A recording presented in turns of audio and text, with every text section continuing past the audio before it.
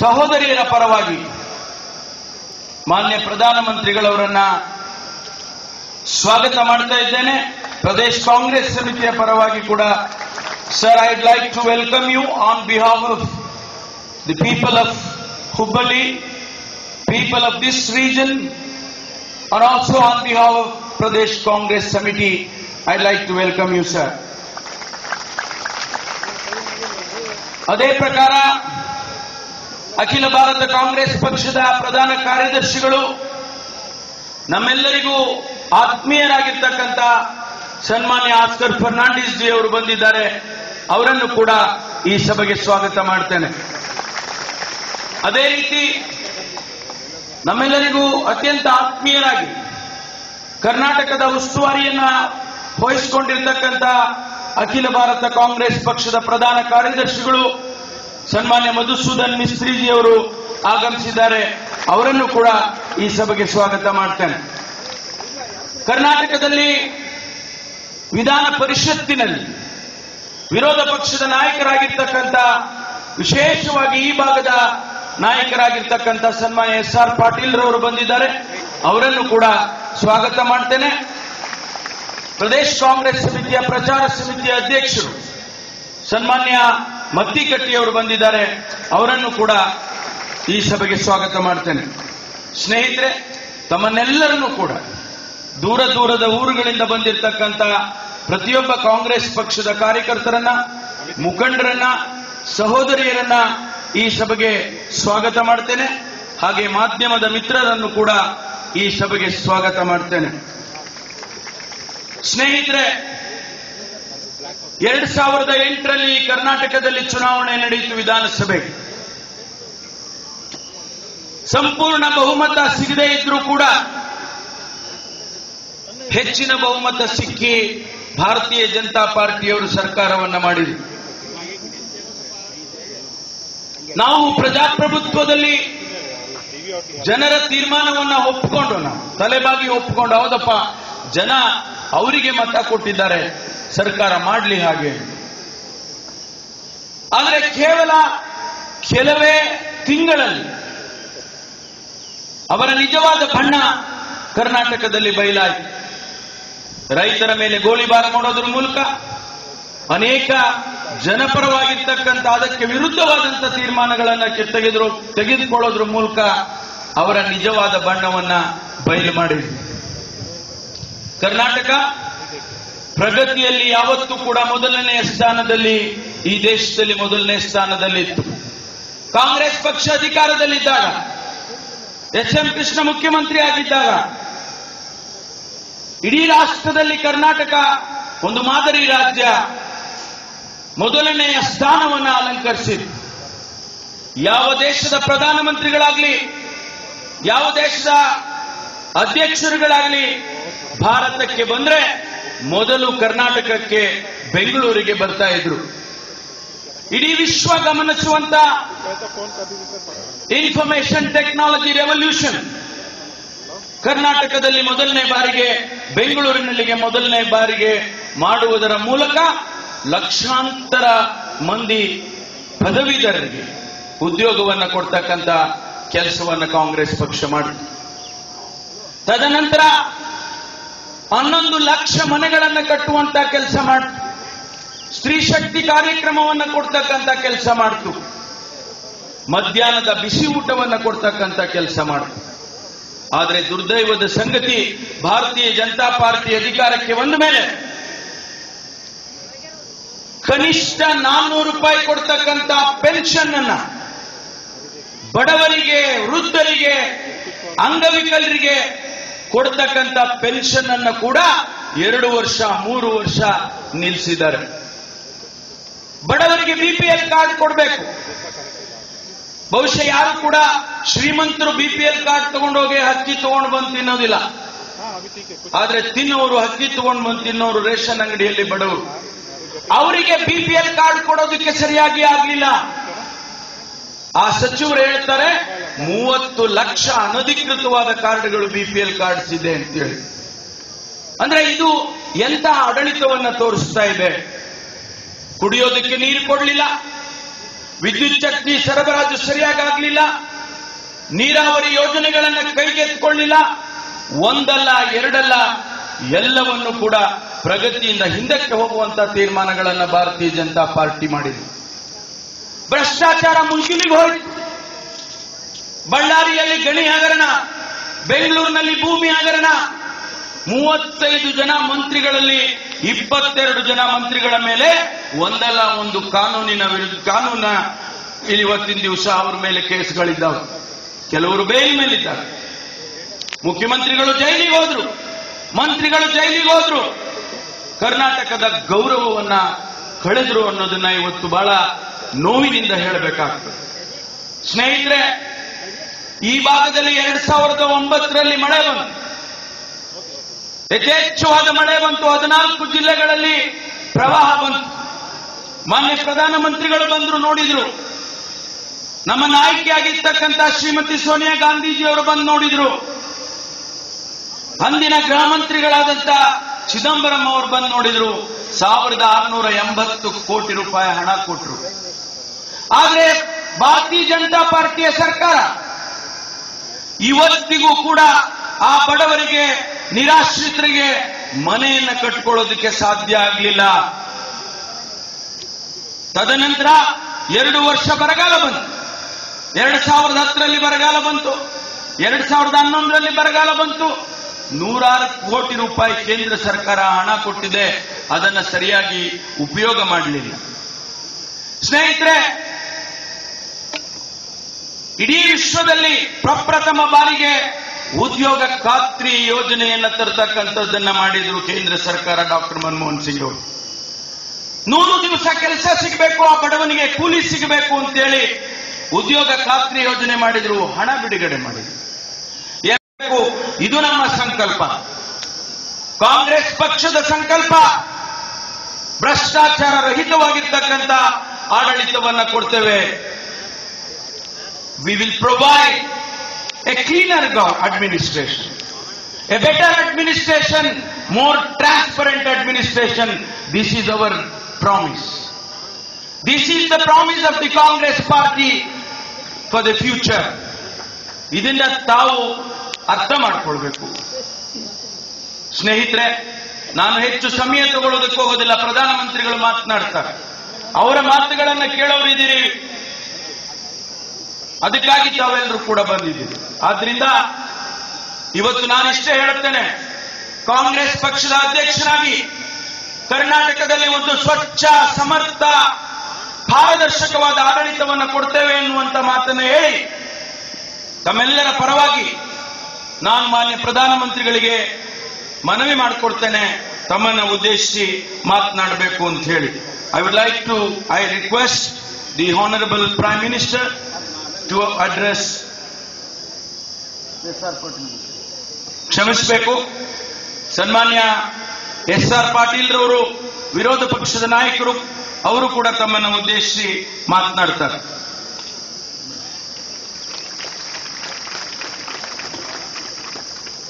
ಪ್ರಪಂಚದಲ್ಲೇ ಭಾರತ ಶಕ್ತಿಶಾಲಿಯಾದಂಥ ಪ್ರಚಂಡವಾದಂಥ ರಾಷ್ಟ್ರವಾಗಿ ಹೊರಹೊಮ್ಮಲಿಕ್ಕೆ ಬಹುದೊಡ್ಡ ಕೊಡುಗೆ ನೀಡಿದಂಥ ಮತ್ತು ಈ ಮಾನ್ ದೇಶದ ಗೌರವಾನ್ವಿತ ಪ್ರಧಾನಮಂತ್ರಿಗಳು ವಿಶ್ವದ ಶ್ರೇಷ್ಠ ಆರ್ಥಿಕ ತಜ್ಞರಾದಂತಹ ಡಾಕ್ಟರ್ ಮನಮೋಹನ್ ಸಿಂಗ್ ಜಿ ಅವರೇ, ಕರ್ನಾಟಕ ಪ್ರದೇಶ ಕಾಂಗ್ರೆಸ್ ಸಮಿತಿಯ ಅಧ್ಯಕ್ಷರು ಆತ್ಮೀಯರಾದಂತಹ ಡಾಕ್ಟರ್ ಜಿ ಪರಮೇಶ್ವರ್ ಅವರೇ, ಅಖಿಲ ಭಾರತ ಕಾಂಗ್ರೆಸ್ ಸಮಿತಿಯ ಪ್ರಧಾನ ಕಾರ್ಯದರ್ಶಿಗಳು ಆತ್ಮೀಯರಾದಂತಹ ಸನ್ಮಾನ್ಯ ಶ್ರೀ ಅಸ್ಕರ್ ಫರ್ನಾಂಡಿಸ್ ಜಿ ಅವರೇ, ನಮ್ಮ ರಾಜ್ಯದ ಉಸ್ತುವಾರಿ ವಹಿಸಿದಂತಹ ಅಖಿಲ ಭಾರತ ಕಾಂಗ್ರೆಸ್ ಸಮಿತಿಯ ಪ್ರಧಾನ ಕಾರ್ಯದರ್ಶಿಗಳಾದಂಥ ಸನ್ಮಾನ್ಯ ಶ್ರೀ ಮಧುಸೂದನ್ ಮೇಸ್ತ್ರಿ ಜಿ ಅವರೇ ಪ್ರಚಾರ ಸಮಿತಿಯ ಅಧ್ಯಕ್ಷರು, ಸ್ನೇಹಿತರಾದಂತಹ ಶ್ರೀ ವೀರಣ್ಣ ಮತ್ತಿಕಟ್ಟಿ ಅವರೇ ಜಿಲ್ಲಾ ಕಾಂಗ್ರೆಸ್ ಸಮಿತಿಯ ಅಧ್ಯಕ್ಷರು ಆತ್ಮೀಯರಾದಂಥ ಶ್ರೀಮಾನ್ ಅವರೇ ಕಾಂಗ್ರೆಸ್ ಪಕ್ಷದ ಹಿರಿಕಿರಿಯ ಮುಖಂಡಗಳೇ ಕಾರ್ಯಕರ್ತ ಬಂಧುಗಳೇ, ಅಭಿಮಾನಿಗಳೇ ಮತ್ತು ಪೂಜ್ಯನೀಯ ಮತದಾರ ಬಾಂಧವರೇ ಹಾಗೂ ವಿವಿಧ ಮಾಧ್ಯಮಗಳ ಗೌರವಾನ್ವಿತ ಸ್ನೇಹಿತರೆ. ಈಗಾಗಲೇ ಕರ್ನಾಟಕ ಪ್ರದೇಶ ಕಾಂಗ್ರೆಸ್ ಸಮಿತಿಯ ಅಧ್ಯಕ್ಷರು ಬಹಳ ಸುದೀರ್ಘವಾದಂತಹ ಮಾತುಗಳನ್ನು ಹೇಳಿದ್ದಾರೆ. ಎರಡ್ ಸಾವಿರ ಎಂಟರಲ್ಲಿ ಅಧಿಕಾರಕ್ಕೆ ಬಂದಂತ ಭಾರತೀಯ ಜನತಾ ಪಕ್ಷ ಅಭಿವೃದ್ಧಿಯೇ ನಮ್ಮ ಮೂಲ ಗುರಿ, ವಿಕಾಸವೇ ನಮ್ಮ ಮೂಲ ಗುರಿ ಅನ್ನುವಂತ ಉದ್ದೇಶದಿಂದ ಅಧಿಕಾರಕ್ಕೆ ಬಂದು ಈ ರಾಜ್ಯಕ್ಕೆ ಕೊಟ್ಟಂತಹ ಕೊಡುಗೆ ಏನಂದ್ರೆ ಬಹುತರವಾಗಿ ಪ್ರಪಂಚದಲ್ಲಿ ಎಂಟನೇ ಅದ್ಭುತ ಅನಿಸಿಕೊಳ್ಳುವಂತ ವಿಶ್ವ ಪ್ರಸಿದ್ಧವಾದಂತಹ ಭ್ರಷ್ಟಾಚಾರವೇ ಇವರು ಕೊಡುಗೆ ಅಂತ ಹೇಳಿಕೆ ನಾನು ಬಯಸ್ತಾ ಇದ್ದೇನೆ. ಭ್ರಷ್ಟಾಚಾರ ಅಧಿಕಾರ ದುರುಪಯೋಗ, ಸ್ವಜನ ಪಕ್ಷಪಾತ, ಅಕ್ರಮ ಗಣಿಗಾರಿಕೆ ಅಕ್ರಮವಾಗಿ ಕಬ್ಬಿನ ಅದರನ್ನು ವಿದೇಶಕ್ಕೆ ರಫ್ತು ಮಾಡುವುದರ ಜೊತೆಗೆ ತೆರಿಗೆ ವಂಚನೆ ಮಾಡಿ ರಾಜ್ಯದ ಪಕ್ಷಕ್ಕೆ ಲಕ್ಷಾಂತರ ಕೋಟಿ ಹಾನಿ ಮಾಡಿದಂತಹ ಕೀರ್ತಿಗೆ ಪಾತ್ರವಾದಂತ ಪಕ್ಷ, ಭಾರತೀಯ ಜನತಾ ಪಕ್ಷದ ಸರ್ಕಾರ ಅಂತ ಹೇಳಿಕೆ ನಾನು ಬಯಸ್ತಾ ಇದ್ದೀನಿ. ಇವೆಲ್ಲದಕ್ಕಿಂತ ಮಿಗಿಲಾಗಿ ಅತ್ಯಂತ ಅನೈತಿಕವಾದಂತಹ ರಾಜಕಾರಣಕ್ಕೆ ಹುಟ್ಟು ಹಾಕಿದ್ದು ಭಾರತೀಯ ಜನತಾ ಪಕ್ಷ. ಅವರ ಅನೈತಿಕ ರಾಜಕಾರಣದ ಬಗ್ಗೆ ನನ್ನ ಬಾಯಿನಿಂದ ಹೇಳಲಿಕ್ಕೆ ಆಗುವುದಿಲ್ಲ. ಅಷ್ಟೇ ಅಲ್ಲ, ಸಮಾಜದ ಎಲ್ಲ ವರ್ಗದವರ ಆಶೋತ್ತರವನ್ನು ಈಡೇರಿಸಲಿಕ್ಕೆ ಇವತ್ತು ಭಾರತೀಯ ಜನತಾ ಪಕ್ಷದ ಸರ್ಕಾರ ಸಂಪೂರ್ಣವಾಗಿ ವಿಫಲವಾಗಿದೆ ಅಂತ ನಾನು ಹೇಳ ಬಯಸ್ತಾ ಇದ್ದೇನೆ.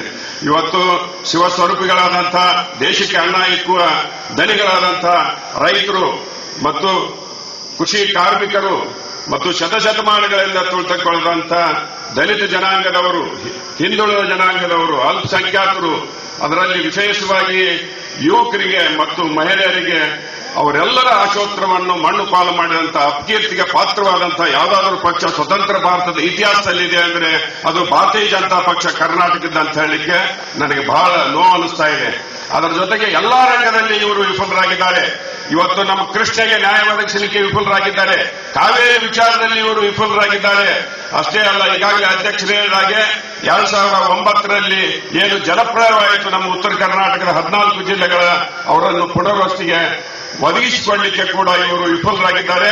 ಅತ್ಯಂತ ಭೀಕರವಾದಂತಹ ಬರಗಾಲ. ಜನ ಜಾನುವಾರುಗಳಿಗೆ ಕುಡಿಯಲಿಕ್ಕೆ ನೀರಿಲ್ಲ, ಜಾನುವಾರುಗಳಿಗೆ ಮೇವಿಲ್ಲ, ಜನತೆಗೆ ದುಡಿಯಲಿಕ್ಕೆ ಕೆಲಸ ಇಲ್ಲ. ಕೇಂದ್ರ ಸರ್ಕಾರ ಹತ್ತಾರು ಸಾವಿರ ಕೋಟಿ ರೂಪಾಯಿ ಇವತ್ತು ನರೇಗಾದ ಅಡಿಯಲ್ಲಿ ಕೊಟ್ಟರು ಕೂಡ ಅದರ ಸದ್ಬಳಕೆ ಮಾಡಿಕೊಳ್ಳಲಾರದೆ ಜನ, ನಮ್ಮ ಉತ್ತರ ಕರ್ನಾಟಕದ ಜನ ಇವತ್ತು ವಲಸೆ ಹೋಗುವಂತ ಈ ಪರಿಸ್ಥಿತಿಯನ್ನು ಉದ್ಭವಿಸಲಿಕ್ಕೆ ಕಾರಣೀಭೂತರಾದವರು ಭಾರತೀಯ ಜನತಾ ಪಕ್ಷದವರು ಅಂತ ಹೇಳಲಿಕ್ಕೆ ನಾನು ಬಯಸ್ತಾ ಇದ್ದೇನೆ. ಅದರ ಜೊತೆಗೆ ಕೇಂದ್ರ ಸರ್ಕಾರ ಮಲ್ತಾಗಿ ಧೋರಣೆ ಅನಿಸ್ತಿದೆ ಅಂತ ಅಪಾದನೆ ಮಾಡ್ತಾ ಇದ್ದಾರೆ. ಎರಡೇ ಸರ್ಕಾರ ಅಧಿಕಾರದಲ್ಲಿದ್ದಾಗ ಮೂವತ್ತು ಸಾವಿರ ಕೋಟಿ ಐದು ವರ್ಷದಲ್ಲಿ ಕೊಟ್ಟರೆ ನಮ್ಮ ಯುಪಿಎ ಗವರ್ಮೆಂಟ್ ಐದು ವರ್ಷಗಳಲ್ಲಿ ಒಂದು ಲಕ್ಷ ಕೋಟಿ ಕೊಟ್ಟಂತಹ ಕೀರ್ತಿಗೆ ನಮ್ಮ ಯುಪಿಐ ಗವರ್ಮೆಂಟ್ ಪಾತ್ರವಾಗಿದೆ ಅನ್ನುವಂತ ಮಾತನ್ನು ಹೇಳ ಬಯಸ್ತಾ ಇದ್ದೇನೆ. ಈ ದೃಷ್ಟಿಯಿಂದ ಶೈಕ್ಷಣಿಕ ಕ್ಷೇತ್ರದಲ್ಲಿ ವಾಣಿಜ್ಯೀಕರಣ ಮಾಡಿ ಅಪಕೀರ್ತಿಗೆ ಪಾತ್ರವಾಗಿದೆ ಅಷ್ಟೇ ಅಲ್ಲ, ಈ ರಾಜ್ಯದ ಹಣಕಾಸಿನ ಸ್ಥಿತಿಯನ್ನು ಹಾಳು ಮಾಡಿದಂತಹ ಅಪಕೀರ್ತಿಗೆ ಪಾತ್ರವಾದದ್ದು ಭಾರತೀಯ ಜನತಾ ಪಕ್ಷದ ಸರ್ಕಾರ ಅಂತ ನಾನು ಹೇಳ ಬಯಸ್ತಾ ಇದ್ದೇನೆ.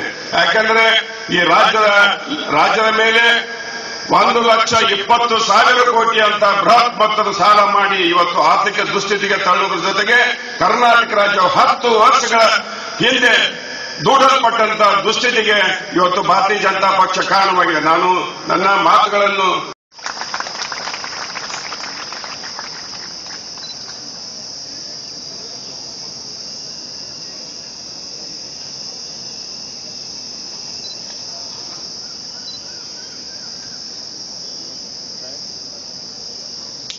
कर्नाटक कांग्रेस कमेटी के अध्यक्ष प्रोफेसर जी परमेश्वर ji Shri Madhusudan Mistry general secretary AICC और incharge Karnataka Shri Oscar Fernandes general secretary all India Congress committee Shri S R Patil, Leader of Legislative Council, Shri Virana Matikati, President Prachar Samiti, Shri A. M. Hindaskeri, President Hubli Tharwad Corporation, DCC और former minister भाइयों और बहनों मुझे खुशी है कि आज मुझे आप सबके बीच आने का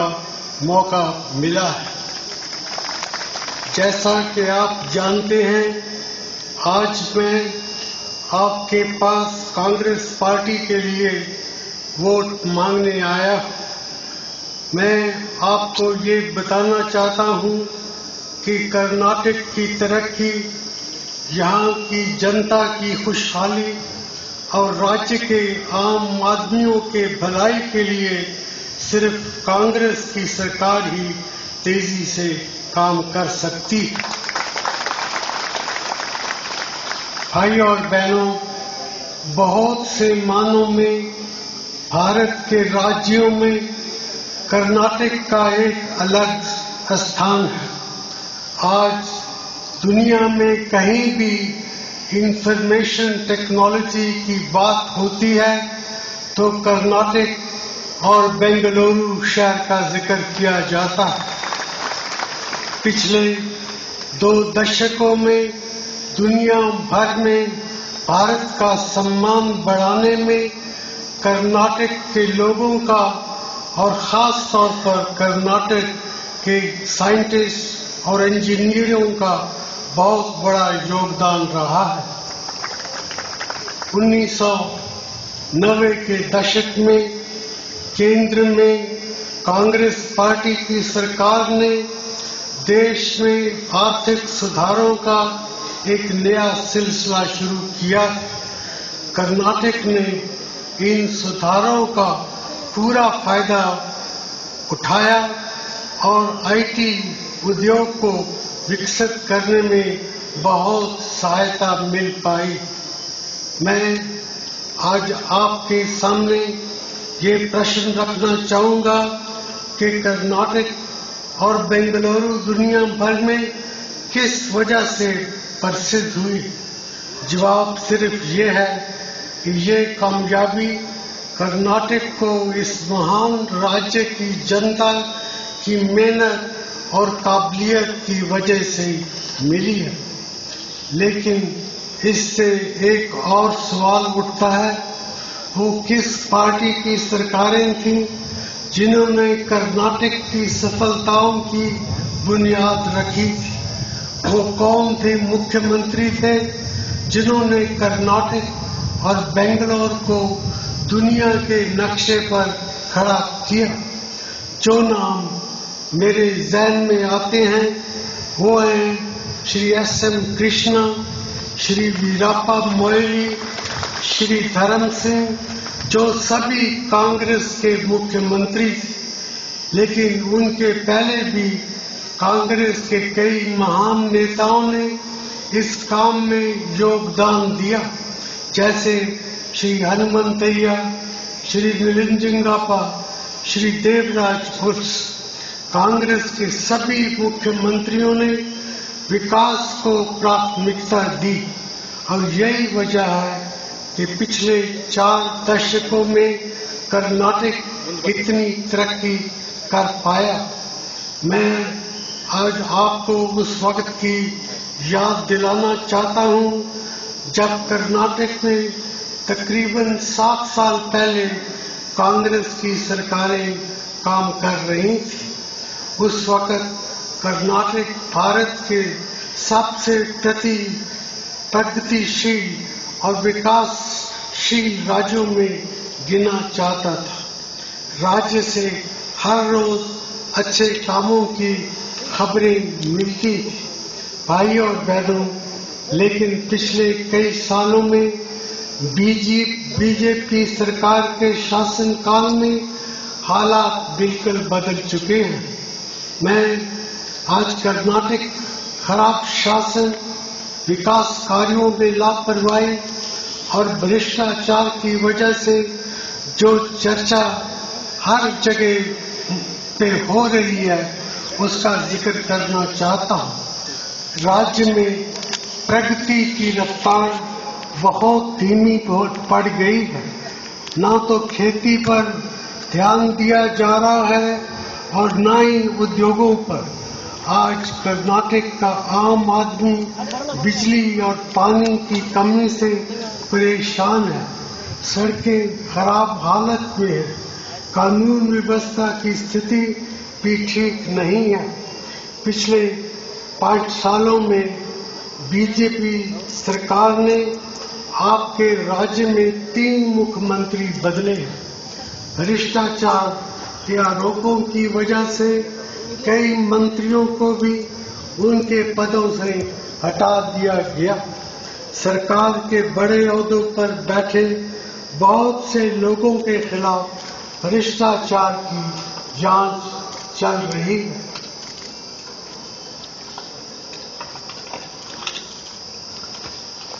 हुगली और उस पास आस पास के क्षेत्र, कॉटन गेहूँ ऑयल सीड्स जैसी फ़सलों की अच्छी पैदावार के लिए जाने जाते हैं यहाँ के लोग कृषि और सिंचाई के महत्व को समझते हैं।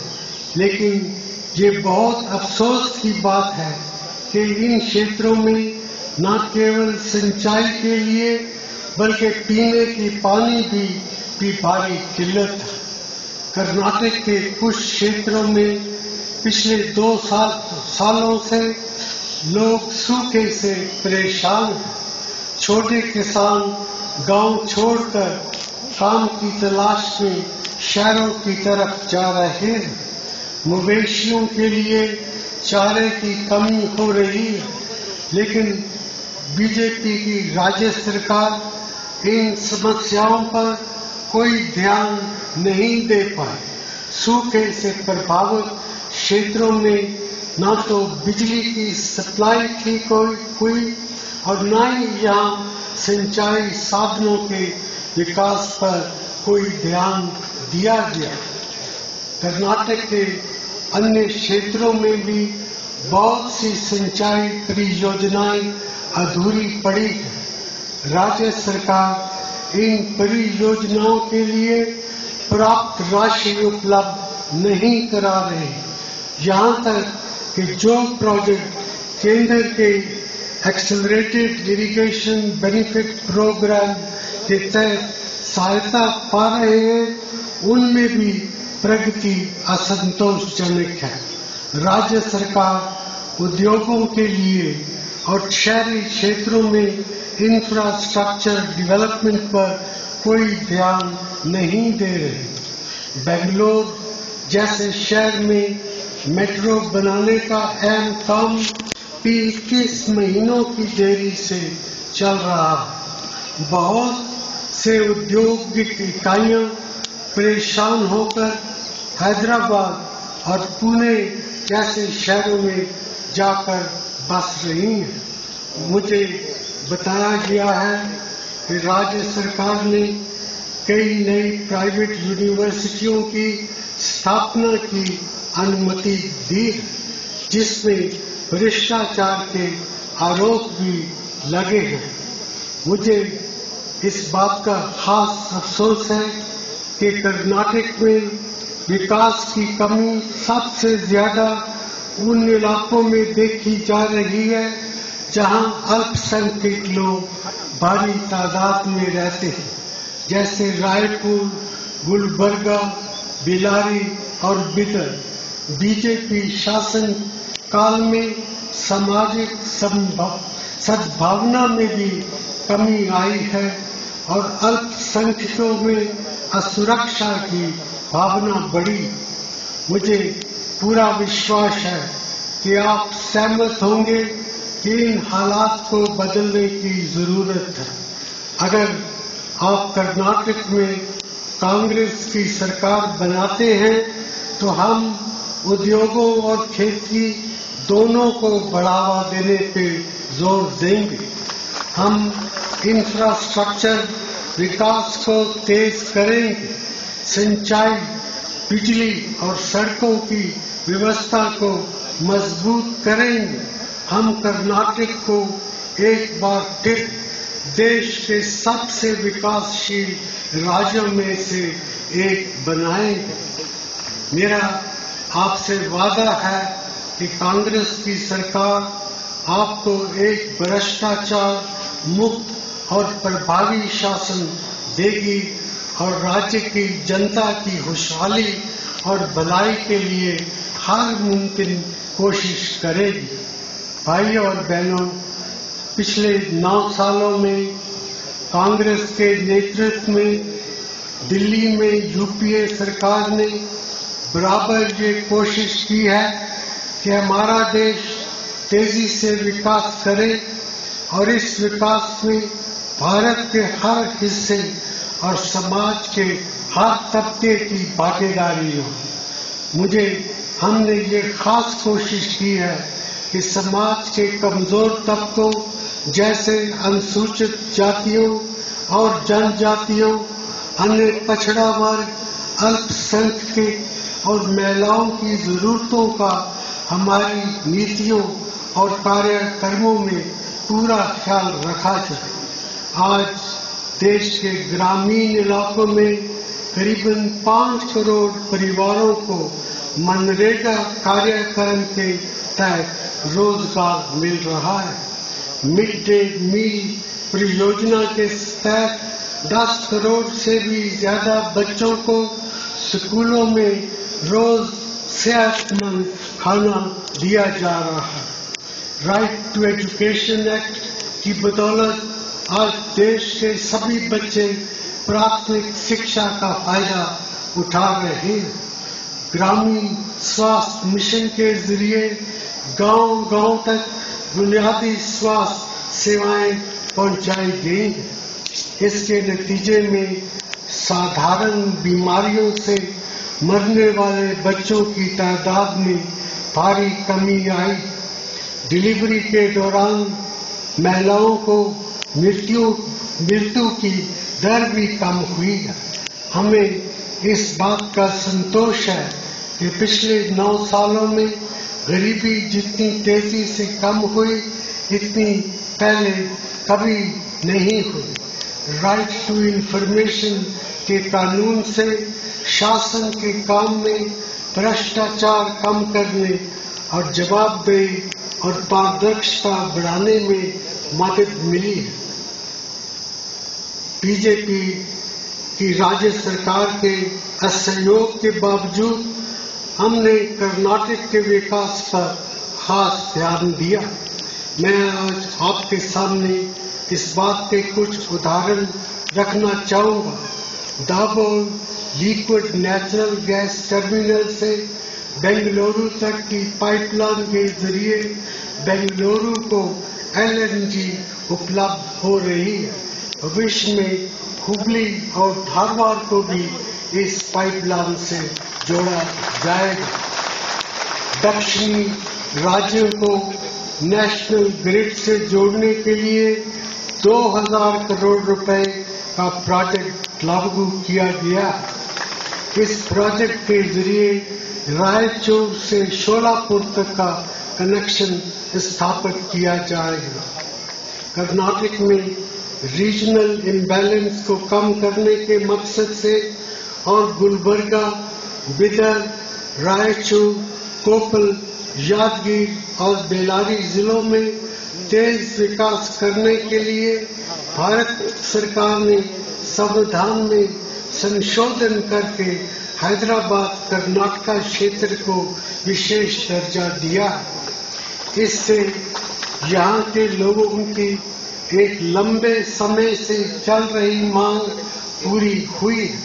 हम आगे आने वाले समय में इस क्षेत्र के ज़्यादा से ज़्यादा देश विकास के लिए कड़ी मेहनत करेंगे भाइयों और बहनों, मुझे इस बात का अफसोस है कि कर्नाटक की बीजेपी सरकार हमारे कार्यक्रमों का पूरा फ़ायदा लोगों तक नहीं पहुँचा सकी।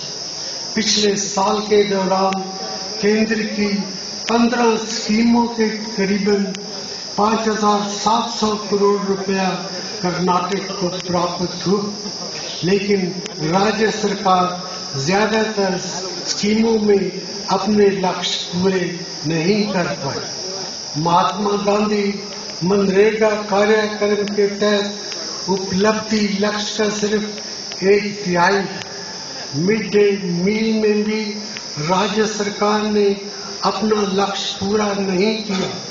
प्रधानमंत्री ग्राम सड़क योजना के तहत सिर्फ़ 321 किलोमीटर सड़क बनाई, जबकि लक्ष्य 546 किलोमीटर का था। जवाहरलाल नेहरू शहरी मिशन के आधे से ज़्यादा प्रोजेक्ट पूरे नहीं हो पाए। मैं आज इस तरह की सभी मिसालें गिनना नहीं चाहता, लेकिन मैं ये ज़रूर कहना चाहूँगा कि अगर कर्नाटक में कांग्रेस की सरकार बनती है तो आपका राज केंद्रीय योजनाओं का पूरा पूरा फ़ायदा उठाएगा, जिससे राज्य की प्रगति तेज होगी। भाई और बहनों, कांग्रेस पार्टी का एक बहुत गौरवशाली इतिहास है।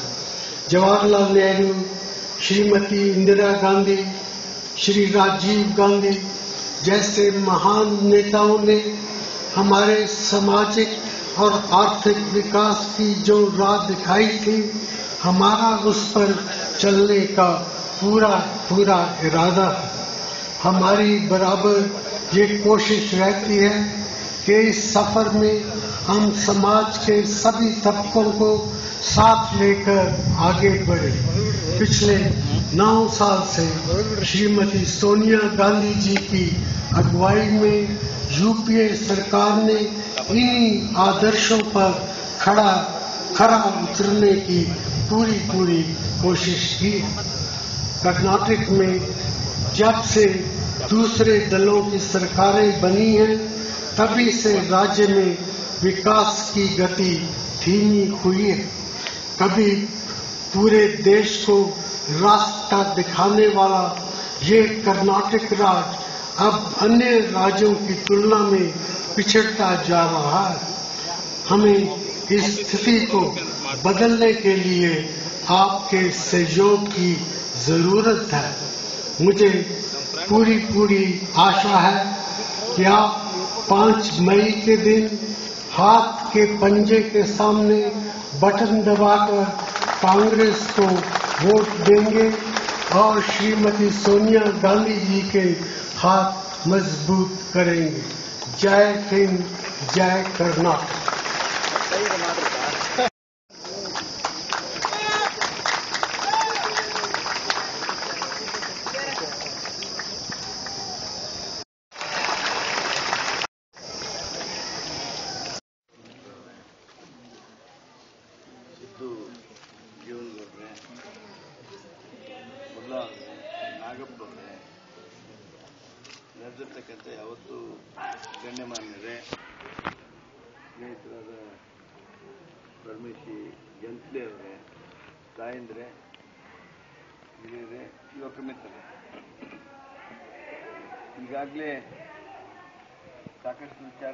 ಪ್ರಸ್ತಾಪ ಮಾಡಿದ್ದೀರಿ. ಇನ್ನು ಏಳು ದಿವಸ. ಆರ ದಿವಸ. ಆರು ದಿನ. ಆರು ದಿವಸದಾಗ ಕೊನೆ ದಿವಸ ಓಟ್ ಹಾಕೋ ದಿವಸದನ್ನ ಪ್ರತ್ಯೇಕ ಇಟ್ಕೊಂಡ್ರಿ ಅಂದ್ರೆ ಆರು ದಿವಸ. ಈ ಆರು ದಿವಸ ನನಗಾಗಿ ಇನ್ನೂ ಹೆಚ್ಚು ಶ್ರಮ ಪಡ್ರಿ. ತಾವು ಈ ಚುನಾವಣೆಯಲ್ಲಿ ಅತಿ ಹೆಚ್ಚಿನ ಲೀಡು ತಂದು ಕೊಡಬೇಕು ಅಂತೇಳಿ ನಮ್ಮಲ್ಲಿ ಪ್ರಾರ್ಥನೆ ಮಾಡಬೇಕಂತೇಳಿ ಬಂದಿದ್ದೇನೆ. ಬರ್ಕತಡಿ ಮುಲ್ಲಾ ಅವರು ಚನ್ನಪ್ಪನವರು ಮುತ್ತಿಯವರು ಕೆಲವು ಮಾತು ಪ್ರಸ್ತಾಪ ಮಾಡಿದರು. ತಾಯಿ ಒಬ್ಬರು ರೇಷನ್ ಕಾರ್ಡ್ ಹೋಗ್ಯಾರ. ಆ ರೇಷನ್ ಕಾರ್ಡ್. ಗುರು ಹಂಗೆ ಮಾಡಿ ಬೇಗ. ಸ್ವಲ್ಪ ತಡ್ಕೊ ಇನ್ನೊಂದು ಹತ್ತು ದಿವಸ ತಡ್ಕೊ ಅದು ಆ ಕೆಲಸ ಮಾಡ್ಕೋದಂತ ನಿಮಗೆ ಒಂದು ಮಾತು ಹೇಳ್ತೇನೆ. ಅಂದ್ರೆ ಜನರಿಗೆ ಹೇಳ್ಬೇಕಾಗಿರ್ತಕ್ಕಂಥ ಅನಿವಾರ್ಯತೆ ಇದೆ, ಅವಶ್ಯಕತೆ. ನಾವು ಕಾಂಗ್ರೆಸ್ನವರು ಏನು ಮಾಡ್ತೀವಿ? ನಿಮ್ಮ ಆಶೀರ್ವಾದದಿಂದ ನೀವು ಶ್ರಮಪಟ್ಟು ಬೆವರು ಸುರಿಸಿ, ರಕ್ತ ಸುಟ್ಕೊಂಡು ನಮಗೆ ಕೈ ಬಲ ಪಡಿಸಿದ್ರಿ ಅಂದ್ರೆ ಕಾಂಗ್ರೆಸ್ ಸರ್ಕಾರ ಬಂತು ಅಂದ್ರೆ ಈಗೇನು ಬಿಜೆಪಿ ಅವರು ನಾವು ಕೂಡ ಅಕ್ಕಿನ ಇಪ್ಪತ್ತೆಂಟು ಕೆ ಜಿ ಹದಿನೈದು ಕೆ ಜಿ ಮಾಡ್ಯಾರ. ಅದನ್ನ ಹದಿನೈದು ಕೆ ಜಿ ಇದ್ದದನ್ನ ಮೂವತ್ತು ಕೆ ಜಿ ಮಾಡ್ತೀವಿ ಪ್ರತಿ ಒಂದು ಕೆ ಜಿಗೆ ರೂಪಾಯಿಗೆ ಒಂದು ಕೆ ಜಿ ಸಿಗುವಂಗೆ ಮಾಡ್ತೀವಿ ಇದು ನಮ್ದು ಮೊನ್ನೆ ಬಡವರಿಗೆ ಮಾಡ್ತಕ್ಕಂಥ ದೊಡ್ಡ ಕಾರ್ಯಕ್ರಮ. ಸಾವಿರಾರು ಕೋಟಿ ರೂಪಾಯಿ ಹೆಚ್ಚಿನ ಬರೇ ಸರ್ಕಾರದ ಮೇಲೆ ಬೀಳ್ತದೆ. ಆದ್ರೆ ಈ ಕಾರ್ಯಕ್ರಮವನ್ನ ಮಾಡ್ತೀವಿ. ಅನ್ನೋ ಪ್ರತಿಜ್ಞೆಯನ್ನ ನಮ್ಮ ಪ್ರಣಾಳಿಕೆಯೊಳಗೆ ಹೇಳ್ತೀವಿ. ನಾವು ವೈಯಕ್ತಿಕವಾಗಿ ನಿಮ್ಗೆ ಹೇಳ್ತೀವಿ. ಎರಡನೇದು ಅಂದ್ರೆ ಈ ಆಶ್ರಯ ಮನೆಗಳು. ಯಾರಿಗೆ ಮನೆ ಇಲ್ಲ, ಯಾರಿವತ್ತು ಗುಡಿಸಲ್ನಲ್ಲಿದ್ದಾರೆ, ಎಲ್ಲಿ ಮೂರು, ಆರು ಇದ್ರೊಳಗೆ ಒಂದು ತಗಡು ಹಾಕೊಂಡಿದ್ದಾರೆ ಬಾಡಿಗೆ ಅದಾರ ಅವ್ರೆಲ್ಲರಿಗೂ ಎಲ್ಲ ಬಡವರಿಗೂ ಮನೆ ಕೊಡ್ತಕ್ಕಂಥ ಆ ದೊಡ್ಡ ಮಹತ್ವಾಕಾಂಕ್ಷಿ ಯೋಜನೆಯನ್ನ ಕೈಗೆತ್ಕೊಳ್ತೀವಿ ಹದಿನಾಲ್ಕು ಸಾವಿರ ಮನೆಯನ್ನು ನಾವು ಗದಗ ಮತಕ್ಷೇತ್ರದಲ್ಲಿ ನಮ್ಮ ಸರ್ಕಾರ ಇದ್ದಾಗ ನಾನು ಉಸ್ತುವಾರಿ ಸಚಿವಾಗಿದ್ದೆ D R Patil ಶಾಸಕರಾಗಿದ್ದರು Basavaraj Patil M L C ಇದ್ರು, ಎಸ್ ಎಂ ಕೃಷ್ಣ ಮುಖ್ಯಮಂತ್ರಿ ಇದ್ರು. ಆ ಟೈಮ್ನಾಗ ನಾವು ನಮ್ಮ ಕ್ಷೇತ್ರಕ್ಕೆ ಹದಿನಾಲ್ಕು ಸಾವಿರ ಮನೆ ಕಟ್ಟಿದೆ ಇನ್ನೊಂದು ಐದಾರು ಸಾವಿರ ಮನೆ ಆದರೆ ಎಲ್ಲ ಬಡವರಿಗೂ ಮನೆ ಎಲ್ಲ ಬಡವರಿಗೂ ಮನೆ ಕಟ್ಟುವಂಥ ಕೆಲಸವನ್ನು ಅತ್ಯಂತ ಆದ್ಯತೆ ಮೇರೆಗೆ ತೆಗೆದುಕೊಳ್ತೀವಿ ಅಷ್ಟೇ ಅಲ್ಲ ಏನಿವತ್ತು ಆಶ್ರಯ ಕಾಲನಿ ಒಳಗೆ ಅದಾರ? ಅವ್ರಿಗೆ ಎಲ್ಲರ ಮೇಲೂ ಸಾಲ ಐತಿ. ನಾವು ನಿರ್ಣಯ ಮಾಡಿದ್ದೇವೆ. ಅವ್ರಿಗೆ ಸರಿಯಾಗಿ ಫೆಸಿಲಿಟೀಸ್ ಕೊಡಲಿಲ್ಲ ಇವರು ಬಿಜೆಪಿ ಅವರು. ಎಲ್ಲಿ ಮಟ್ಟ ಹೋದ್ರು ಅಂದ್ರೆ ಯಾರೋ ಒಂದಿಷ್ಟು ಮಂದಿ ರೌಡಿಗೆ ಏಜೆನ್ಸಿ ಕೊಟ್ಟು ಅವ್ರ ಸಾಲ ವಸೂಲಿ ಮಾಡ್ರಿ ಇಲ್ಲ ಅಂದ್ರೆ ಅವ್ರನ್ನ ಮನೆ ಬಿಟ್ಟು ಹೊರಗೆ ಹಾಕ್ರಿ ಅಂತ ಹೇಳಿ. ನಾ ಅವತ್ತಿನ ಅವರೆಲ್ಲರಿಗೆ ಎಚ್ಚರಿಕೆ ಕೊಟ್ಟಿದ್ದೆ. ಇವತ್ತು ನಾವು ರಾಜಕೀಯ ಪಕ್ಷವಾಗಿ ನಿರ್ಣಯ ಮಾಡಿದ್ದೇವೆ. ಆಶ್ರಯ ಯೋಜನೆ ಅಡಿಯಲ್ಲಿರ್ತಕ್ಕಂಥ ಮನೆಗಳ ಮೇಲಿನ ಸಾಲ ಸಂಪೂರ್ಣ ಮನ್ನಾ ಮಾಡ್ತೀವಿ ಕಾಂಗ್ರೆಸ್ನವರು.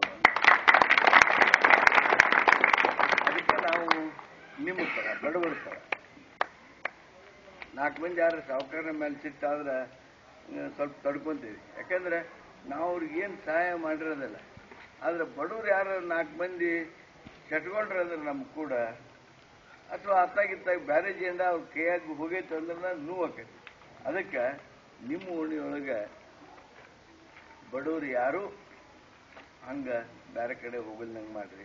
ಕಾಂಗ್ರೆಸ್ ನಿಮ್ಮ ಪಕ್ಷ. ಇಲ್ಲೇ ಮುನ್ಸಿಪಾಲಿಟಿ ಇಲೆಕ್ಷನ್ನಾಗ ನಮ್ಮ ಒಂದು ಬೇರೆ ಮೊಹಲ ಇತ್ತು. ಮೊನ್ನೆ ಮಾನ್ಯ ಬರ್ಕತ್ ಅಲಿ ಅವರು, ಚಂದಪ್ಪನವರು. ಚಂದಪ್ಪನವರು ನಮ್ಮ ಪಾರ್ಟಿಯಿಂದ ನಿಂತಿದ್ರು. ಬರ್ಕತ್ ಅಲಿ ಕಾಂಗ್ರೆಸ್ನಲ್ಲಿ ಹೋರಾಟ ಮಾಡಿ, ಸೇವಾ ಮಾಡಿ, ನಿಮ್ಮ ಪ್ರೀತಿ ಮೇಲೆ ಅವರು ನಿಂತಿದ್ರು.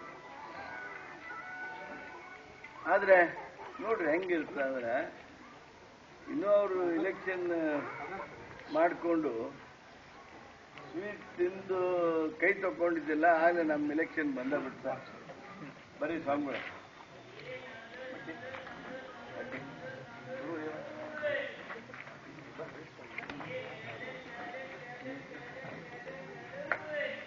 ಇನ್ನು ಪಟಾಕಿ ಒಟ್ಟು ಹಾರಿದ್ದಿಲ್ಲ. ಆಗ್ಲೇ ನನ್ನ ಇಲೆಕ್ಷನ್ ಬಂತು. ಆದ್ರೆ ನನಗೆ ಬಹಳ ಸಂತೋಷ ಅನಿಸ್ತದ ನನಗೂ ಬರ್ಕತ್ತಲ್ಲಿ ಮೇಲೆ ರಗಡ್ ಚಿತ್ತ ಬಂದಿತ್ತು ಮತ್ತೆ. ಚಿತ್ತ ಬಂದಿಲ್ಲ ಅಂತ. ಆದ್ರೆ ಯಾವಾಗ ಎಂ ಎಲ್ ಎಲೆಕ್ಷನ್ ಡಿಕ್ಲೇರ್ ಆಯ್ತು ಎಂ ಎಲ್ ಎಲೆಕ್ಷನ್ ಅಂದ್ರೆ ಒಂದು ದೊಡ್ಡ ಯುದ್ಧ ಇತ್ತು ಮುನ್ಸಿಪಾಲಿಟಿ ಎಲೆಕ್ಷನ್ ಇಲ್ಲೇ ನಾವು ಮನೆಯಾಗ ಜಗಳ ಇದ್ದಂಗೆ. ಅವ್ರು ಬರ್ಬೇಕು ಇವ್ರು ಬರ್ಬೇಕು ನನಗೆ ಹೇಳ್ಬೇಕು ಹೆಚ್ಚು ಪಂಡ್ರ ಟಿಕೆಟ್ ಕೊಟ್ಟಿಲ್ಲ. ಬರ್ಲಿ ಆ ಚಂದಪ್ಪನವ್ರನ್ನ ಕರ್ಕೊಂಡು ಬರ್ಲಿ ನಮ್ಮ ಮನೆಗೆ ಬರ್ಲಿ.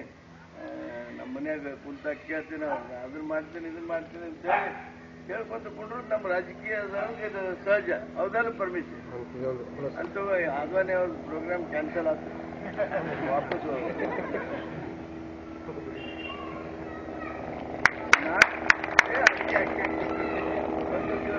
ಹೋಗ್ಬೇಕು.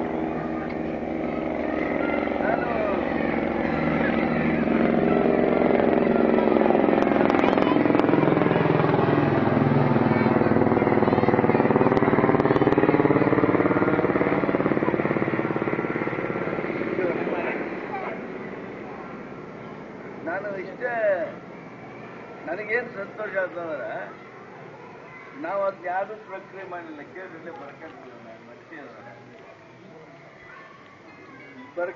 ಚಂದಪ್ಪನವ್ರಂಗನ ಅಗದಿ ಜೋರಾಗಿ ನಮ್ಮ ಕಾಂಗ್ರೆಸ್ ಕಾರ್ಯಕರ್ತರ ಸಭೆಯೊಳಗೆ. ನಾ ಯಾವಾಗ ತಮ್ಮನ್ನೆಲ್ಲ ಕರೆದು ನಾಮಿನೇಷನ್ ಮಾಡ್ತೀನಿರಪ್ಪ, ಅದಕ್ಕೆ ನಿಮ್ಮ ಪರವಾನಗಿ ಕೊಡ್ರಿ ನನ್ನ ಬೆಂಬಲ ಮಾಡ್ರಿ ಅಂತ ಹೇಳಿ ಹೇಳೋದಕ್ಕೆ ಸಭೆ ಕರೆದಿದ್ದು ಆ ಸಭೆಗನ ಬರ್ಕತ್ ಹಾಜರಾಗಿತ್ತು ನನ್ನ ಮೂಲಕ ನಂದು ಚಂದಪ್ಪನವ್ರದು ನಮ್ಮ ಪಕ್ಷದ ಹಿರಿಯರದು ಎಲ್ಲರಿಗೂ ಪ್ರೀತಿ ಗಳಿಸ್ಕೊಂಡ್ರು. ಅಷ್ಟೇ ಅಲ್ಲ? ಕಾಂಗ್ರೆಸ್ ಬಗ್ಗೆ ಏನು ಅವರಲ್ಲಿರ್ತಕ್ಕಂಥ ಒಂದು ಅಭಿಮಾನ ಹಾಗೂ ಎಚ್ ಕೆ ಪಾಟೀಲ್ ಬಗ್ಗೆ ಇರ್ತಕ್ಕಂಥ ಪ್ರೀತಿ, ವಿಶ್ವಾಸವನ್ನ ತೋರಿಸಿದ್ರು. ಅದನ್ನ ಅವ್ರ ವಾರ್ಡ್ನೊಳಗೆ ಅವರು ಕೆಲಸನೂ ಪ್ರಾರಂಭ ಮಾಡಿದ್ರು. ಇವತ್ತಿನವರೆಗೂ ನಾನು ವಾರ್ಡ್ನಾಗ ಏನೇನು ಕೆಲಸ ಮಾಡಿದೆ ಅಂತ ಕೇಳಿಲ್ಲ. ಅವತ್ತು ಮೊದಲೇ ಒಂದು ಮೀಟಿಂಗ್ ಮಾಡಿದ್ವಿ. ಅವತ್ತು ಎಷ್ಟು ಹಾಕಿಸ್ತೀರಪ್ಪ ಬರ್ಕತ್ತ ಚಂದಪ್ಪನವ್ರ ಇಬ್ರು ಕೂಡಿ ಎಷ್ಟು ಹಾಕಿಸ್ತೀರಿ. ಅವರಿಬ್ರು ತಮ್ಮದು ತಮ್ಮದು ಇಬ್ಬರದು ಟೋಟಲ್ ಮಾಡಿಕೊಂಡ್ರು. ಒಂದು ಎಷ್ಟು ಹೊಸ ಮಾಡಿಸಿದ್ರು. ಅದನ್ನ ಬರೆದು ಟೋಟಲ್ ಮಾಡಿ ಅಷ್ಟು ಐದು ಕೇಳಿದ್ರು ಹದಿನೈದು ನೂರು ಅಂತೇಳಿ. ನಾವೇನು ಅದಕ್ಕೆ ಒಪ್ಕೊಂಡಿಲ್ಲ. ಅದಕ್ಕೆ ನಾನು ನಿಮ್ಮ ಹತ್ರ ಹೇಳಕ್ ಬಂದೀನಿ. ಅವರಿಬ್ರು ಟೋಟಲ್ ಮಾಡಿ ಹದಿನೈದು ನೂರು ಅಂತ ಹೇಳ್ಯಾರ. ಹದಿನೈದು ನೂರಕ್ಕೆ ನಿಲ್ಲಿಸ್ಬೇಡ್ರಿ. ಅದನ್ನ ಹದಿನೈದು ನೂರು ದಾಟಿಸ್ಬೇಕು ಅಂತೇಳಿ. ಕಾಂಗ್ರೆಸ್ ಮಾಡಿರ್ತಕ್ಕಂಥ ಏನು ಕಾರ್ಯಕ್ರಮಗಳದಾವು? ಜನರಲ್ಲಿ ಅಭಿಮಾನ ತುಂಬುತ್ತವು ಏನು ಐದು ವರ್ಷ ಬಿಜೆಪಿ ಸರ್ಕಾರ ಕೆಟ್ಟ ಕೆಟ್ಟ ಕೆಲಸ ಮಾಡಿದೆ, ಅದರಿಂದ ಜನರಿಗೆ ಸಂಪೂರ್ಣವಾಗಿ ಅವ್ರ ಬಗ್ಗೆ ತಿರಸ್ಕಾರ ಬಂದಿದೆ.